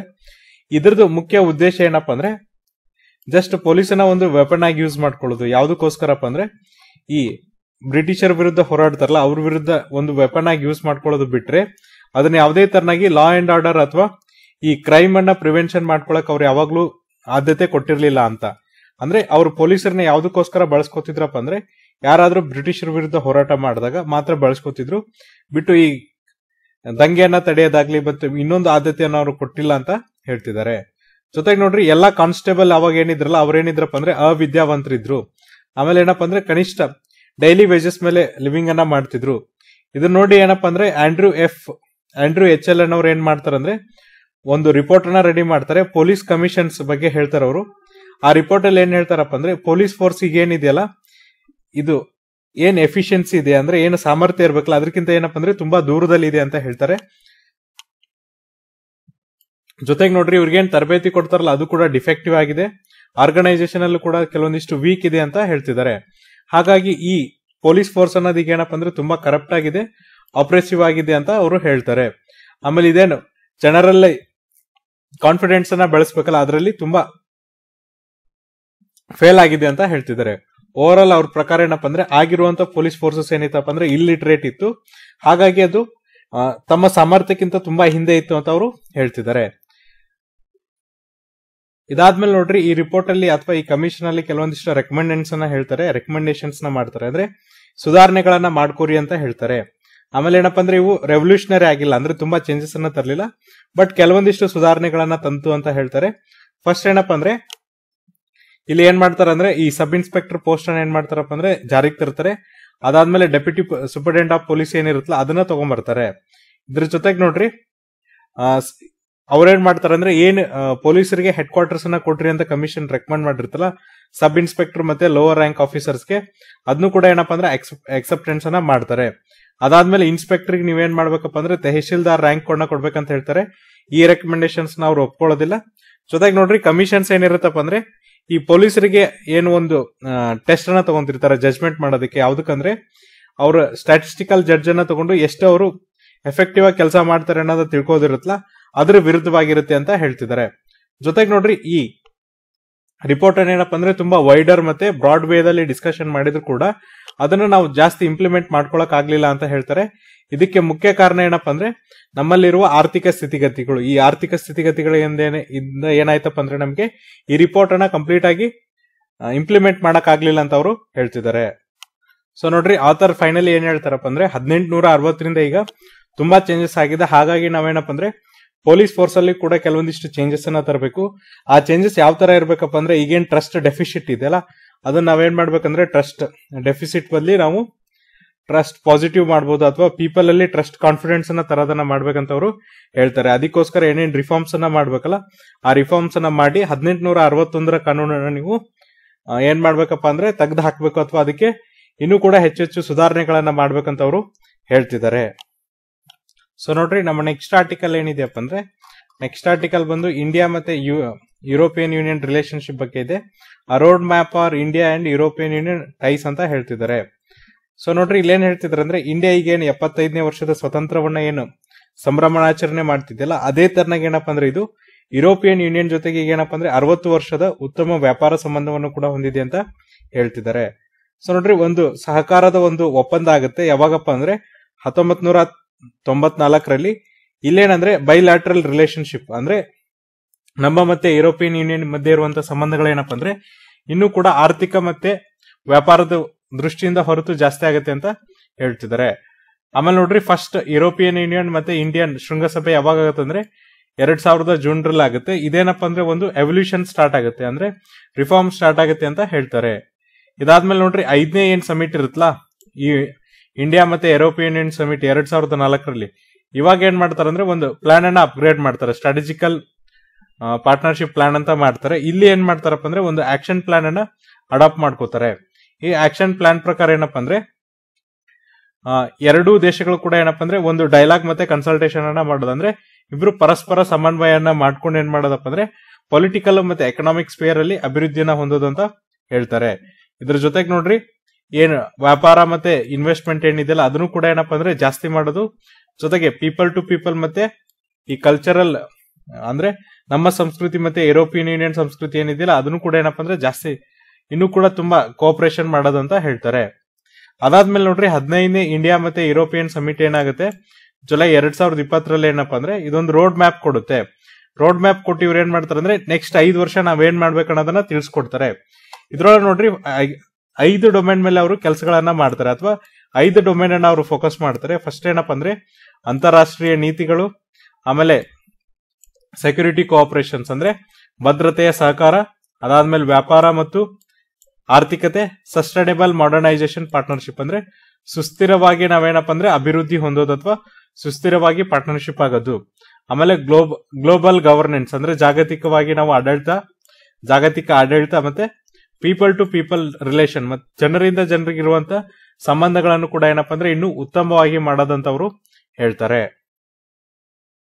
ಹಾಗಾದ್ರೆ ನಾವೀಗ ಯಾವ್ಯಾವ ಕ್ಷೇತ್ರದಲ್ಲಿ ಸಹಕಾರ ಕೊಡ್ತಿದೀವಿ ಅಂದ್ರೆ, ಸೊ ನೋಡ್ರಿ ಇಂಡಿಯಾ ಮತ್ತೆ ಭಾರತ ಮತ್ತೆ ಯುರೋಪಿಯನ್ ಯೂನಿಯನ್ ರಿಲೇಶನ್ಶಿಪ್ ಯಾವ ತರ ಇದೆ ಅಂದ್ರೆ, ನಮ್ಮಿಬ್ಬರದ ದ್ವಿಪಕ್ಷೀಯ ಸಂಬಂಧ ಯಾವ ತರ ಇದೆ ಅಂದ್ರೆ, ಸೊ ನೋಡ್ರಿ, ನಾವೇನು ಇಂಪೋರ್ಟ್ ಮಾಡ್ಕೋತೀವಲ್ಲ ಅಂದ್ರೆ ಆಮದು ಮಾಡ್ಕೋತೀವಲ್ಲ ಅದ್ರ ಎರಡನೇ ಅತಿ ದೊಡ್ಡ ಆಮದುದಾರ ಯಾರಪ್ಪ ಅಂದ್ರೆ ಯುರೋಪಿಯನ್ ಯೂನಿಯನ್ ಅಂತ ಹೇಳ್ಬೋದು. ಈಗ ನಮ್ಮ ಮತ್ತೆ ಯುರೋಪಿಯನ್ ಯೂನಿಯನ್ ಮಧ್ಯೆ ಎಷ್ಟು ವ್ಯಾಪಾರ ಆಗುತ್ತಪ್ಪ ಅಂದ್ರೆ ನೂರ ಹದಿನಾರು ಬಿಲಿಯನ್ ಡಾಲರ್ಸ್ ಅಂತ ಅವರು ಹೇಳ್ತಿದ್ದಾರೆ. ಸೊ ಯುರೋಪಿಯನ್ ಯೂನಿಯನ್ ಏನಪ್ಪ ಅಂದ್ರೆ ಯು ಎಸ್ ಆದ್ಮೇಲೆ ಇರುವಂತ ಎರಡನೇ ಅತಿ ದೊಡ್ಡ ಅಥವಾ ಎರಡನೇ ದೊಡ್ಡದಾದಂತ ಆಮದುದಾರ, ಆಮದು ಮಾಡುವಂತ ದೇಶ ಆಗಿದ್ರು ಕೂಡ ಅದೇ ತರನಾಗಿ ನಮ್ಮ ದೇಶದಲ್ಲಿ ನಾವೇನು ಎಕ್ಸ್ಪೋರ್ಟ್ ಮಾಡ್ತೀವಿ ಅಥವಾ ರಫ್ತನ್ನ ಏನ್ ಮಾಡ್ತೀವಲ್ಲ, ಆ ರಫ್ತಲ್ಲಿ ಏನಪ್ಪ ಅಂದ್ರೆ ಯುರೋಪಿಯನ್ ಯೂನಿಯನ್ ಎರಡನೇ ಪ್ಲೇಸ್ ಅಲ್ಲಿ ಇದೆ.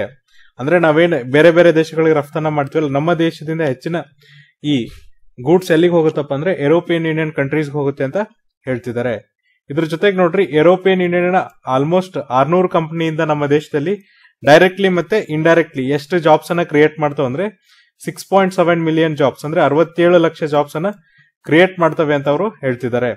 ಇದ್ರ ಜೊತೆಗೆ ನೋಡ್ರಿ ಎಕನಾಮಿಕ್ ಮತ್ ಪಾರ್ಟ್ನರ್ಶಿಪ್ ಬಿಟ್ಟರು ಕೂಡ ಇಂಡಿಯಾ ಮತ್ತೆ ಯುರೋಪಿಯನ್ ಯೂನಿಯನ್ ಕೆಲವೊಂದಿಷ್ಟು ಕೊಲಾಬ್ರೇಷನ್ ಮಾಡ್ಕೊಂಡಿದ್ದಾವೆ, ಸಹಕಾರವನ್ನ ಮಾಡ್ಕೊಂಡಿದ್ದಾವೆ. ಅದ್ರ ಪ್ರಕಾರ ನೋಡ್ರಿ ಏನೇನ್ ಕೊಲಾಬ್ರೇಷನ್ ಅನ್ನ ಮಾಡ್ಕೊಂಡಿದ್ದೇವೆ ಅಂದ್ರೆ ಫಾರ್ ಎಕ್ಸಾಂಪಲ್ ಇಂಡಿಯಾ ಮತ್ತೆ ಡೆನ್ಮಾರ್ಕ್ ಮಧ್ಯೆ ಏನಪ್ಪಾ ಅಂದ್ರೆ ಒಂದು ಗ್ರೀನ್ ಸ್ಟ್ರಾಟಜಿಕ್ ಪಾರ್ಟ್ನರ್ಶಿಪ್ ಅನ್ನ ಮಾಡ್ಕೊಂಡಿದ್ದಾರೆ. ಇದ್ರ ಮುಖ್ಯ ಉದ್ದೇಶ ಏನಪ್ಪಾ ಅಂದ್ರೆ ಕ್ಲೈಮೇಟ್ ಚೇಂಜ್ ಏನಾಗುತ್ತಲ್ಲ ಕ್ಲೈಮೇಟ್ ಚೇಂಜ್ ಇರ್ಬೋದು ಬಯೋಡೈವರ್ಸಿಟಿ ಲಾಸ್ ಇರ್ಬೋದು ಅಥವಾ ಪೊಲ್ಯೂಷನ್ಸ್ ಏನಿದೆಯಲ್ಲ, ಅದ್ರ ಚೇಂಜಸ್ ಏನ್ ಮಾಡ್ಕೋಬೇಕಲ್ಲ, ಅದ್ರ ಮೇಲೆ ಏನಪ್ಪಾ ಅಂದ್ರೆ ಈ ಕಾನೂನನ್ನ ತಗೊಂಡ್ಬಂದಿದ್ದಾರೆ ಅಂತ ಹೇಳ್ತಿದ್ದಾರೆ. ಅದಾದ್ಮೇಲೆ ನೋಡ್ರಿ ಈ ಮೇ ಒಳಗೆ ಏನಪ್ಪಾ ಅಂದ್ರೆ ಇಂಡಿಯಾ ನಾರ್ಡಿಕ್ ಸಮಿಟ್ ಆಗುತ್ತೆ. ಇದ್ರ ಮುಖ್ಯ ಉದ್ದೇಶ ಏನಪ್ಪಾ ಅಂದ್ರೆ ಗ್ರೀನ್ ಟೆಕ್ನಾಲಜೀಸ್ನ ಅಡಾಪ್ಟ್ ಮಾಡ್ಕೊಳ್ಳೋದು, ಜೊತೆಗೆ ಏನಪ್ಪಾ ಅಂದ್ರೆ ಈ ಇಂಡಸ್ಟ್ರೀಸ್ ಒಳಗೆ ಏನ್ ಟ್ರಾನ್ಸ್ಫಾರ್ಮೇಶನ್ ಆಗ್ಬೇಕಲ್ಲ? ಅಂದ್ರೆ ಈಗಿರುವಂತ ಇಂಡಸ್ಟ್ರೀಸ್ ಹೆಚ್ಚು ಹೆಚ್ಚು ಕಾರ್ಬನ್ ಡೈಆಕ್ಸೈಡ್ ಏನೇನ್ ಎಮಿಟ್ ಮಾಡುತ್ತಲ್ಲ, ಅದನ್ನ ಟ್ರಾನ್ಸ್ಫಾರ್ಮೇಶನ್ ಗೋಸ್ಕರ ಏನ್ ಮಾಡ್ತಿದಾರಪ್ಪ ಅಂದ್ರೆ ಇನ್ನೂ ಕೂಡ ಹೆಚ್ಚಿಗೆ ಗ್ರೋತ್ ಅನ್ನ ಮಾಡ್ತಿದ್ದಾರೆ ಇದ್ರ ಜೊತೆಗೆ ಏನಪ್ಪಾ ಅಂದ್ರೆ ನಮ್ಮ ಮತ್ತೆ ಯುರೋಪಿಯನ್ ಯೂನಿಯನ್ ಇರುವಂತ ಸಹಕಾರದಿಂದ ಏನಪ್ಪಾ ಅಂದ್ರೆ ಇನ್ನೂ ಎನ್ಹಾನ್ಸ್ ಆಗ್ತಿದೆ, ಅಂದ್ರೆ ಇನ್ನೂ ಜಾಸ್ತಿ ಆಗ್ತಿದೆ ಅಂತ ಹೇಳ್ತಿದ್ದಾರೆ ಜೊತೆಗೆ ನೋಡ್ರಿ ಯುರೋಪಿಯನ್ ಯೂನಿಯನ್ ದೇಶಗಳಿಂದ ನಮ್ಗೆ ಏನಪ್ಪಾ ಅಂದ್ರೆ ಡಿಫೆನ್ಸ್ ಸೆಕ್ಟರ್ ಅಲ್ಲಿ ಜಾಸ್ತಿ ಸಸ್ಟೈನಬಿಲಿಟಿ ಅಥವಾ ಸುಸ್ಥಿರವಾಗಿ ಸಿಗ್ತಿದೆ ಅಂತ ಅವರು ಹೇಳ್ತಿದ್ದಾರೆ. ಅಂದ್ರೆ ನಾವೀಗೇನಾಗಿದ್ದೀವಪ್ಪ ಅಂದ್ರೆ ಇಂಡಿಯಾ ಜಾಸ್ತಿ ಡಿಫೆನ್ಸ್ ಅನ್ನ ಯಾವ್ದ್ರ ಮೇಲೆ ಡಿಪೆಂಡ್ ಆಗಿದ್ವಿ ಅಂದ್ರೆ ರಷ್ಯಾ ಮೇಲೆ ಡಿಪೆಂಡ್ ಆಗಿದ್ವಿ ಈಗೇನು ಉಕ್ರೇನ್ ಕಾನ್ಫ್ಲಿಕ್ಟ್ ಆಯ್ತು ಮತ್ತೆ ನಮ್ದೇನು ಚೈನಾ ಜೊತೆಗೆ ಕನ್ಫ್ರಂಟೇಷನ್ ನಡೀತಿದೆ. ಅದಕ್ಕೋಸ್ಕರ ಏನಪ್ಪಾ ಅಂದ್ರೆ ನಾವು ಯಾವುದೇ ಒಂದು ಹಾರ್ಡ್ವೇರ್ ಆಗ್ಲಿ, ಹೊಸ ಹೊಸ ಟೆಕ್ನಾಲಜೀಸ್ ಆಗ್ಲಿ, ನಾವು ಯಾವ್ದ್ರ ಮೇಲೆ ಡಿಪೆಂಡ್ ಆಗ್ಬಾರ್ದು ಅಂದ್ರೆ ರಷ್ಯಾ ಮೇಲೆ ಡಿಪೆಂಡ್ ಆಗ್ಬಾರ್ದು. ಬಿಟ್ಟು ಬೇರೆಯವ್ರನ್ನ ಹುಡುಕ್ದಾಗ ಏನಪ್ಪ ಅಂದ್ರೆ ನಮಗೆ ಅಲ್ಟರ್ನೇಟಿವ್ ಆಗಿ ಯಾರು ಸಿಗ್ತಾರೆ ಅಂದ್ರೆ ಯುರೋಪಿಯನ್ ಯೂನಿಯನ್ ಅವ್ರು ಸಿಗ್ತಾರೆ ಅಂತ ಹೇಳ್ತಿದ್ದಾರೆ. ಹಾಗಾಗಿ ಈ ಭದ್ರತೆ ವಿಷಯದಲ್ಲಿ ಕೂಡ ಏನಪ್ಪಾ ಅಂದ್ರೆ ಡಿಫೆನ್ಸ್ ಒಪ್ಪಂದದಲ್ಲೂ ಕೂಡ ಏನಪ್ಪಾ ಅಂದ್ರೆ ಯುರೋಪಿಯನ್ ಯೂನಿಯನ್ ನಮಗೆ ತುಂಬಾ ಸಹಕಾರ ಕೊಡ್ತಿದೆ ಅಂತ ಹೇಳ್ತಿದ್ದಾರೆ. ಇದ್ರ ಜೊತೆಗೆ ನೋಡ್ರಿ, ಯುರೋಪಿಯನ್ ಯೂನಿಯನ್ ಅವರು ಮತ್ತೆ ನಾವೇನಪ್ಪ ಅಂದ್ರೆ ರೆಗ್ಯುಲರ್ಲಿ ಕೆಲವೊಂದಿಷ್ಟು ಎಕ್ಸಸೈಸ್ನ ಕಂಡಕ್ಟ್ ಮಾಡ್ತೀವಿ ಅಂತ ಹೇಳ್ತಿದ್ದಾರೆ. ಅದಾದ್ಮೇಲೆ ಏನ್ ಮಾಡ್ತೀವಪ್ಪ ಅಂದ್ರೆ ನಾವು ಅಂದ್ರೆ ನಾವು ಮತ್ತೆ ಯುರೋಪಿಯನ್ ಯೂನಿಯನ್ ಅವ್ರು ಏನ್ ಮಾಡ್ತೀವಪ್ಪ ಅಂದ್ರೆ ಈ ಇಂಡೋ ಸ್ಪೆಸಿಫಿಕ್ ರೀಸನ್ ಅಲ್ಲಿ ಫ್ರೀ ಓಪನ್ ಮತ್ತೆ ಇನ್ಕ್ಲೂಸಿವ್ ರೂಲ್ಸ್ ಅನ್ನ ತಯಾರು ಮಾಡ್ತಿದ್ವಿ. ಅಥವಾ ಫ್ರೀ ಮತ್ತೆ ಓಪನ್ ಮತ್ತೆ ಇನ್ಕ್ಲೂಸಿವ್ಸ್ ಏನ್ ನೇವಿಗೇಷನ್ಸ್ ಇದೆಯಲ್ಲ ಅದಕ್ಕೆ ಜಾಸ್ತಿ ಆದ್ಯತೆಯನ್ನ ಕೊಡ್ತಿದೀವಿ ಅಂತ ಹೇಳ್ತಿದ್ದಾರೆ. ಆಮೇಲೆ ನೋಡ್ರಿ, ಮೊದಲ ಮರೈನ್ ಮ್ಯಾರಿಟೈಮ್ ಸೆಕ್ಯೂರಿಟಿ ಡೈಲಾಗ್ ಏನಾಗಿದೆ? ನಮ್ಮ ಮತ್ತೆ ಯುರೋಪಿಯನ್ ಯೂನಿಯನ್ ಮಧ್ಯೆ ಅಲ್ಲಿ ಯಾವ್ಯಾವ್ದಕ್ಕೆ ಜಾಸ್ತಿ ಸಹಕಾರವನ್ನು ಕೊಟ್ಟಿದೀವಪ್ಪ ಅಂದ್ರೆ ಈ ಕೆಪಾಸಿಟಿ ಬಿಲ್ಡಿಂಗ್ ಮೇಲೆ ಜಾಸ್ತಿ ಕೆಪಾಸಿಟಿ ಬಿಲ್ಡಿಂಗ್ ಇರ್ಬೋದು ನೇವಲ್ ಆಕ್ಟಿವಿಟೀಸ್ ಇರ್ಬೋದು ಡೊಮೇನ್ ಅವೇರ್ನೆಸ್ ಬಗ್ಗೆ ಏನಪ್ಪ ಅಂದ್ರೆ ಜಾಸ್ತಿ ಪ್ರಿಫರೆನ್ಸ್ ಅನ್ನ ಕೊಟ್ಟಿದೀವಿ ಅಂತ ಹೇಳ್ತಿದ್ದಾರೆ. ಅದೇ ತರ ನೋಡ್ರಿ, ಫ್ರಾನ್ಸ್ ದೇಶ ಏನಪ್ಪ ಅಂದ್ರೆ ಮೂವತ್ತಾರು ರೆಫೆಲ್ ಫೈಟರ್ ಜೆಟ್ ಅನ್ನ ಡೆಲಿವರ್ ಮಾಡೋ ಟೈಮಿಗೆ ಏನಪ್ಪ ಅಂದ್ರೆ ಕೆಲವೊಂದಿಷ್ಟು ಈ ಬಾರಾಚೂಡ ಅನ್ನೋ ನ್ಯೂಕ್ಲಿಯರ್ ಅಟ್ಯಾಕ್ ಸಬ್ಮರೈನ್ಸ್ ಏನಿದೆಯಲ್ಲ, ಅದನ್ನ ಇಂಡಿಯನ್ ನೇವಿ ಕೊಡಕ್ ಅವ್ರು ಏನ್ ಮಾಡಿದ್ರಪ್ಪ ಅಂದ್ರೆ ಇಂಟ್ರೆಸ್ಟ್ ಅನ್ನ ತೋರಿಸಿದ್ರು. ಇದರಿಂದ ಏನು, ನಮ್ಮ ಮಧ್ಯೆ ಮತ್ತೆ ಫ್ರಾನ್ಸ್ ಮಧ್ಯೆ ಏನು ನಂಬಿಕೆ ಇದೆ ಅಥವಾ ಡಿಪೆಂಡೆನ್ಸ್ ಇದೆಯಲ್ಲ, ಇನ್ನೂ ಕೂಡ ಜಾಸ್ತಿ ಆಗುತ್ತೆ ಮತ್ತೆ ಸಂಬಂಧಗಳು ಉತ್ತಮವಾಗ್ತವೆ ಅಂತ ಹೇಳ್ತಿದ್ದಾರೆ.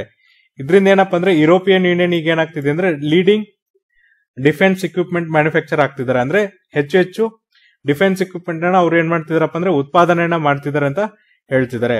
ಅದೇ ತರನಾಗಿ ಏನಪ್ಪ ಅಂದ್ರೆ ಇಂಡಿಯನ್ ಕಂಪ್ನೀಸ್ ಕೂಡ ಏನಪ್ಪ ಅಂದ್ರೆ ಈ ಡಿಫೆನ್ಸ್ ಪ್ರಾಜೆಕ್ಟ್ ಜೊತೆಗೆ ಅವ್ರ ಜೊತೆಗೆ ಕೊಲಾಬ್ರೇಟ್ ಆಗಿ ಅಥವಾ ಸಹಕಾರ ಮಾಡ್ಕೊಂಡು ಅಥವಾ ಒಪ್ಪಂದ ಮಾಡ್ಕೊಂಡು ಏನಪ್ಪ ಅಂದ್ರೆ ಮೇಕ್ ಇನ್ ಇಂಡಿಯಾ ಪ್ರೋಗ್ರಾಮ್ ಅನ್ನ ಸಕ್ಸಸ್ಫುಲ್ ಮಾಡ್ಬೇಕಂತ ಹೇಳ್ತಿದ್ದಾರೆ. ಇನ್ನೊಂದು ನೋಡ್ರಿ ರ್ಯಾಪಿಡ್ ಗ್ರೋಯಿಂಗ್ ಇನ್ ಏರಿಯಾ ಯಾವ್ದಪ್ಪ ಅಂದ್ರೆ ಸ್ಟಾರ್ಟ್ಅಪ್ ಮತ್ತೆ ಇನೋವೇಷನ್ಸ್ ಅಂತ ಹೇಳ್ತಿದ್ದಾರೆ. ಎಸ್ಪೆಷಲಿ ಇಂಡಿಯಾ ಮತ್ತೆ ಯುರೋಪಲ್ಲಿ ಅಂತ ಹೇಳ್ತಿದ್ದಾರೆ. ಫರ್ದರ್ ಏನಪ್ಪ ಅಂದ್ರೆ, ನಾವು ಸೈನ್ಸ್ ಅಂಡ್ ಟೆಕ್ನಾಲಜಿ ಒಳಗೆ ಏನ್ ಮಾಡ್ತಿದ್ವಿ ಅಂದ್ರೆ ಜಾಯಿಂಟ್ ಸ್ಟೀರಿಂಗ್ ಕಮಿಟಿಯನ್ನ ಮಾಡಿದೀವಿ ಅಂತ ಹೇಳ್ತಿದ್ದಾರೆ. ಎಸ್ಪೆಷಲಿ ಇದ್ರೊಳಗೆ ಯಾವ್ದ್ರ ಮೇಲೆ ಫೋಕಸ್ ಮಾಡ್ತಿದೀವಪ್ಪ ಅಂದ್ರೆ ಹೆಲ್ತ್ ಕೇರ್ ಟೆಕ್ನಾಲಜಿ ಮೇಲೆ ಆರ್ಟಿಫಿಷಿಯಲ್ ಇಂಟೆಲಿಜೆನ್ಸ್ ಮೇಲೆ ಮತ್ತೆ ಅರ್ತ್ ಸೈನ್ಸ್ ಮೇಲೆ ಫೋಕಸ್ ಮಾಡ್ತಿದೀವಿ ಅಂತ ಹೇಳ್ತಿದ್ದಾರೆ. ಇದಾದ್ಮೇಲೆ ನೋಡ್ರಿ, ಎರಡ್ ಸಾವಿರದ ಇಪ್ಪತ್ತರಲ್ಲಿ ಏನಪ್ಪ ಅಂದ್ರೆ, ಒಂದು ಒಪ್ಪಂದ ಆಗುತ್ತೆ. ಇದ್ರ ಪ್ರಕಾರ ಏನಪ್ಪ ಅಂದ್ರೆ, ಏನು ಡೆವಲಪ್ಮೆಂಟಲ್ ಕೋಆಪರೇಷನ್ ಯಾವ್ದ್ರ ಮಧ್ಯೆ ಆಗುತ್ತೆ ಅಂದ್ರೆ ಯುರೋಪಿಯನ್ ಅಟಾಮಿಕ್ ಎನರ್ಜಿ ಕಮ್ಯುನಿಟಿ ಮತ್ತೆ ಗವರ್ಮೆಂಟ್ ಆಫ್ ಇಂಡಿಯಾ ಮಧ್ಯೆ ಏನಪ್ಪ ಅಂದ್ರೆ ಇದೇನು ಡೆವಲಪ್ಮೆಂಟಲ್ ಕೋಆಪರೇಷನ್ಸ್ ಇದೆ. ಸ್ಪೆಷಲಿ ಏನಪ್ಪ ಅಂದ್ರೆ ಅಟಾಮಿಕ್ ಎನರ್ಜಿ ಮೇಲೆ ಆ ಒಂದು ಒಪ್ಪಂದ ಆಗುತ್ತೆ ಅಂತ ಹೇಳ್ತಿದ್ದಾರೆ. ಹಾಗಾದ್ರೆ ಇಲ್ಲಿರುವಂತ ಚಾಲೆಂಜಸ್ ಏನಪ್ಪ ಅಂದ್ರೆ ಸೊ ನೋಡ್ರಿ ನಾವು ರಷ್ಯಾ ಮತ್ತೆ ಉಕ್ರೇನ್ ವಾರದಾಗ ಏನ್ ಮಾಡಿದ್ವಿ ಅಂದ್ರೆ, ನಾವು ರಷ್ಯಾನ ಅಷ್ಟು ಕ್ರಿಟಿಸೈಸ್ ಮಾಡಲಿಲ್ಲ. ಯಾವ ತರನಾಗಿ ವೆಸ್ಟರ್ನ್ ಕಂಟ್ರೀಸ್ ಅಥವಾ ಯು ಎಸ್ ಕ್ರಿಟಿಸೈಸ್ ಮಾಡ್ತಲ್ಲ, ಅಷ್ಟು ಕ್ರಿಟಿಸಿಸಮ್ ನಾವು ಮಾಡಲಿಲ್ಲ. ಇದು ಒಂದು ಫಸ್ಟ್ ಡ್ರಾಬ್ಯಾಕ್ ಅಂತ ಹೇಳ್ತಿದ್ದಾರೆ. ಆಮೇಲೆ ನೋಡ್ರಿ ಇಂಡಿಯಾ ಏನ್ ಹೇಳ್ತಿದೆ ಅಂದ್ರೆ, ಈ ಯುರೋಪಿಯನ್ ಯೂನಿಯನ್ ದವರು ಯಾವ ತರನಾಗಿ ಡಬಲ್ ಸ್ಟ್ಯಾಂಡರ್ಡ್ ಮೇಂಟೈನ್ ಮಾಡ್ತಿದಾರಲ್ಲ, ಅದನ್ನ ನಾವು ಕ್ರಿಟಿಸೈಸ್ ಮಾಡಿದೀವಿ. ಯಾವ ತರ ಅಂದ್ರೆ, ಅವ್ರು ನಮ್ಗಿಂತ ಹೆಚ್ಚಿಗೆ ಆಯಿಲ್ ಅಂಡ್ ನ್ಯಾಚುರಲ್ ಗ್ಯಾಸ್ ತರಿಸ್ಕೊಂಡ್ರು ಕೂಡ ಏನಪ್ಪಾ ಅಂದ್ರೆ ಅವರು ರಷ್ಯಾನ ಕ್ರಿಟಿಸೈಸ್ ಮಾಡ್ತಾರೆ. ಅಂದ್ರೆ, ಈಗ ನೋಡ್ರಿ, ರಷ್ಯಾ ಮತ್ತೆ ಉಕ್ರೇನ್ ಯುದ್ಧ ಆದಾಗ ಏನಾಯ್ತಪ್ಪ ಅಂದ್ರೆ ರಷ್ಯಾದಿಂದ, ಅವರು ರಷ್ಯಾಕ್ಕೆ ಒಂಥರ ಫಂಡ್ ಮಾಡಿದ್ರು. ಯಾವ ತರ ಅಂದ್ರೆ, ಅಲ್ಲಿರುವಂತ ಆಯಿಲ್ ಮತ್ತೆ ನ್ಯಾಚುರಲ್ ಗ್ಯಾಸ್ ತಗೊಂಡು ಮತ್ತೆ ಇಂಡೈರೆಕ್ಟ್ ಆಗಿ ಏನ್ ಮಾಡ್ತಿದಾರೆ ಅಂದ್ರೆ ಕ್ರಿಟಿಸೈಸ್ ಕೂಡ ಮಾಡ್ತಿದ್ದಾರೆ. ಸೊ ಆ ಏನ್ ಡಬಲ್ ಸ್ಟ್ಯಾಂಡರ್ಡ್ ಇದೆಯಲ್ಲ, ಅದನ್ನು ನಾವು ಕ್ರಿಟಿಸೈಸ್ ಮಾಡಿದ್ವಿ. ಇದರಿಂದ ಏನಪ್ಪಾ ಅಂದ್ರೆ ಇಂಡಿಯಾ ಮತ್ತೆ ಯು ಎಸ್ ಇಂಡಿಯಾ ಮತ್ತೆ ಯುರೋಪಿಯನ್ ಯೂನಿಯನ್ ರಿಲೇಶನ್ಶಿಪ್ ಇನ್ನೂ ಹಾಳಾಗುತ್ತೆ ಅಂತ ಹೇಳ್ತಿದ್ದಾರೆ. ಇದ್ರ ಜೊತೆಗೆ ನೋಡ್ರಿ, ಈಗೇನ್ ಯುರೋಪಿಯನ್ ಯೂನಿಯನ್ ಒಂದು ಕನ್ಸರ್ನ್ ಅನ್ನ ತಗೊಂಡ್ಬಂದಿದೆ ಯಾವ್ದಕ್ಕಂದ್ರೆ ಏನ್ ನಾವು ಆಂಟಿ ಚೈನಾ ಪಾಲಿಸಿ ತರಬೇಕು ಅಥವಾ ಚೈನಾ ವಿರುದ್ಧವಾಗಿ ಇನ್ನೊಬ್ರು ಯಾರನ್ನಾದ್ರೂ ಕಟ್ ತರ್ಬೇಕಂತ ಹೇಳ್ತಿದಾರಲ್ಲ, ಅಲ್ಲಿ ಏನಪ್ಪಾ ಅಂದ್ರೆ ಇಂಡಿಯಾನ ಅವ್ರ ಏನ್ ಮಾಡ್ಬೋದು ಅಂದ್ರೆ ತಗೊಂಡ್ಬರ್ಬೋದು ಅಂದ್ರೆ ಚೈನಾ ವಿರುದ್ಧವಾಗಿ ಯಾವ್ದಾದ್ರೂ ಬೆಳಿಬೇಕಂದ್ರೆ, ಅಥವಾ ಚೈನಾ ವಿರುದ್ಧವಾಗಿ ಇನ್ನೊಂದು ಬೆಳೆಸ್ಬೇಕಂದ್ರೆ ದೇಶವನ್ನ, ಅದಕ್ಕೆ ಇರುವಂತ ಅಲ್ಟರ್ನೇಟಿವ್ ಆಪ್ಷನ್ ಯಾವ್ದಂದ್ರೆ ಇಂಡಿಯಾ ಅಂತ ಹೇಳ್ತಿದ್ದಾರೆ. ಹಾಗಾಗಿ ನಮ್ಮಲ್ಲಿರುವಂತ ಡಿಫ್ರೆನ್ಸಸ್ ಕಮ್ಮಿ ಆಗಿ ನಾವೇನ್ ಮಾಡ್ಬೇಕಂದ್ರೆ, ಇಬ್ರು ಕೂಡ ಇನ್ನೂ ಹೆಚ್ಚಿಗೆ ವರ್ಕ್ ಮಾಡಿ, ಏನ್ ಗ್ರೋತ್ ಇದೆಯಲ್ಲ, ಅದನ್ನ ಇನ್ನೂ ಕೂಡ ಏನಪ್ಪಾ ಅಂದ್ರೆ ಜಾಸ್ತಿ ಮಾಡ್ಬೇಕಂತ ಅವರು ಹೇಳ್ತಿದ್ದಾರೆ.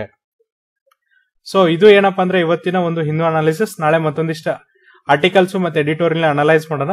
ಅಲ್ಲಿವರೆಗೂ ನೋಡ್ತಾ ಇರಿ classic education YouTube channel thank you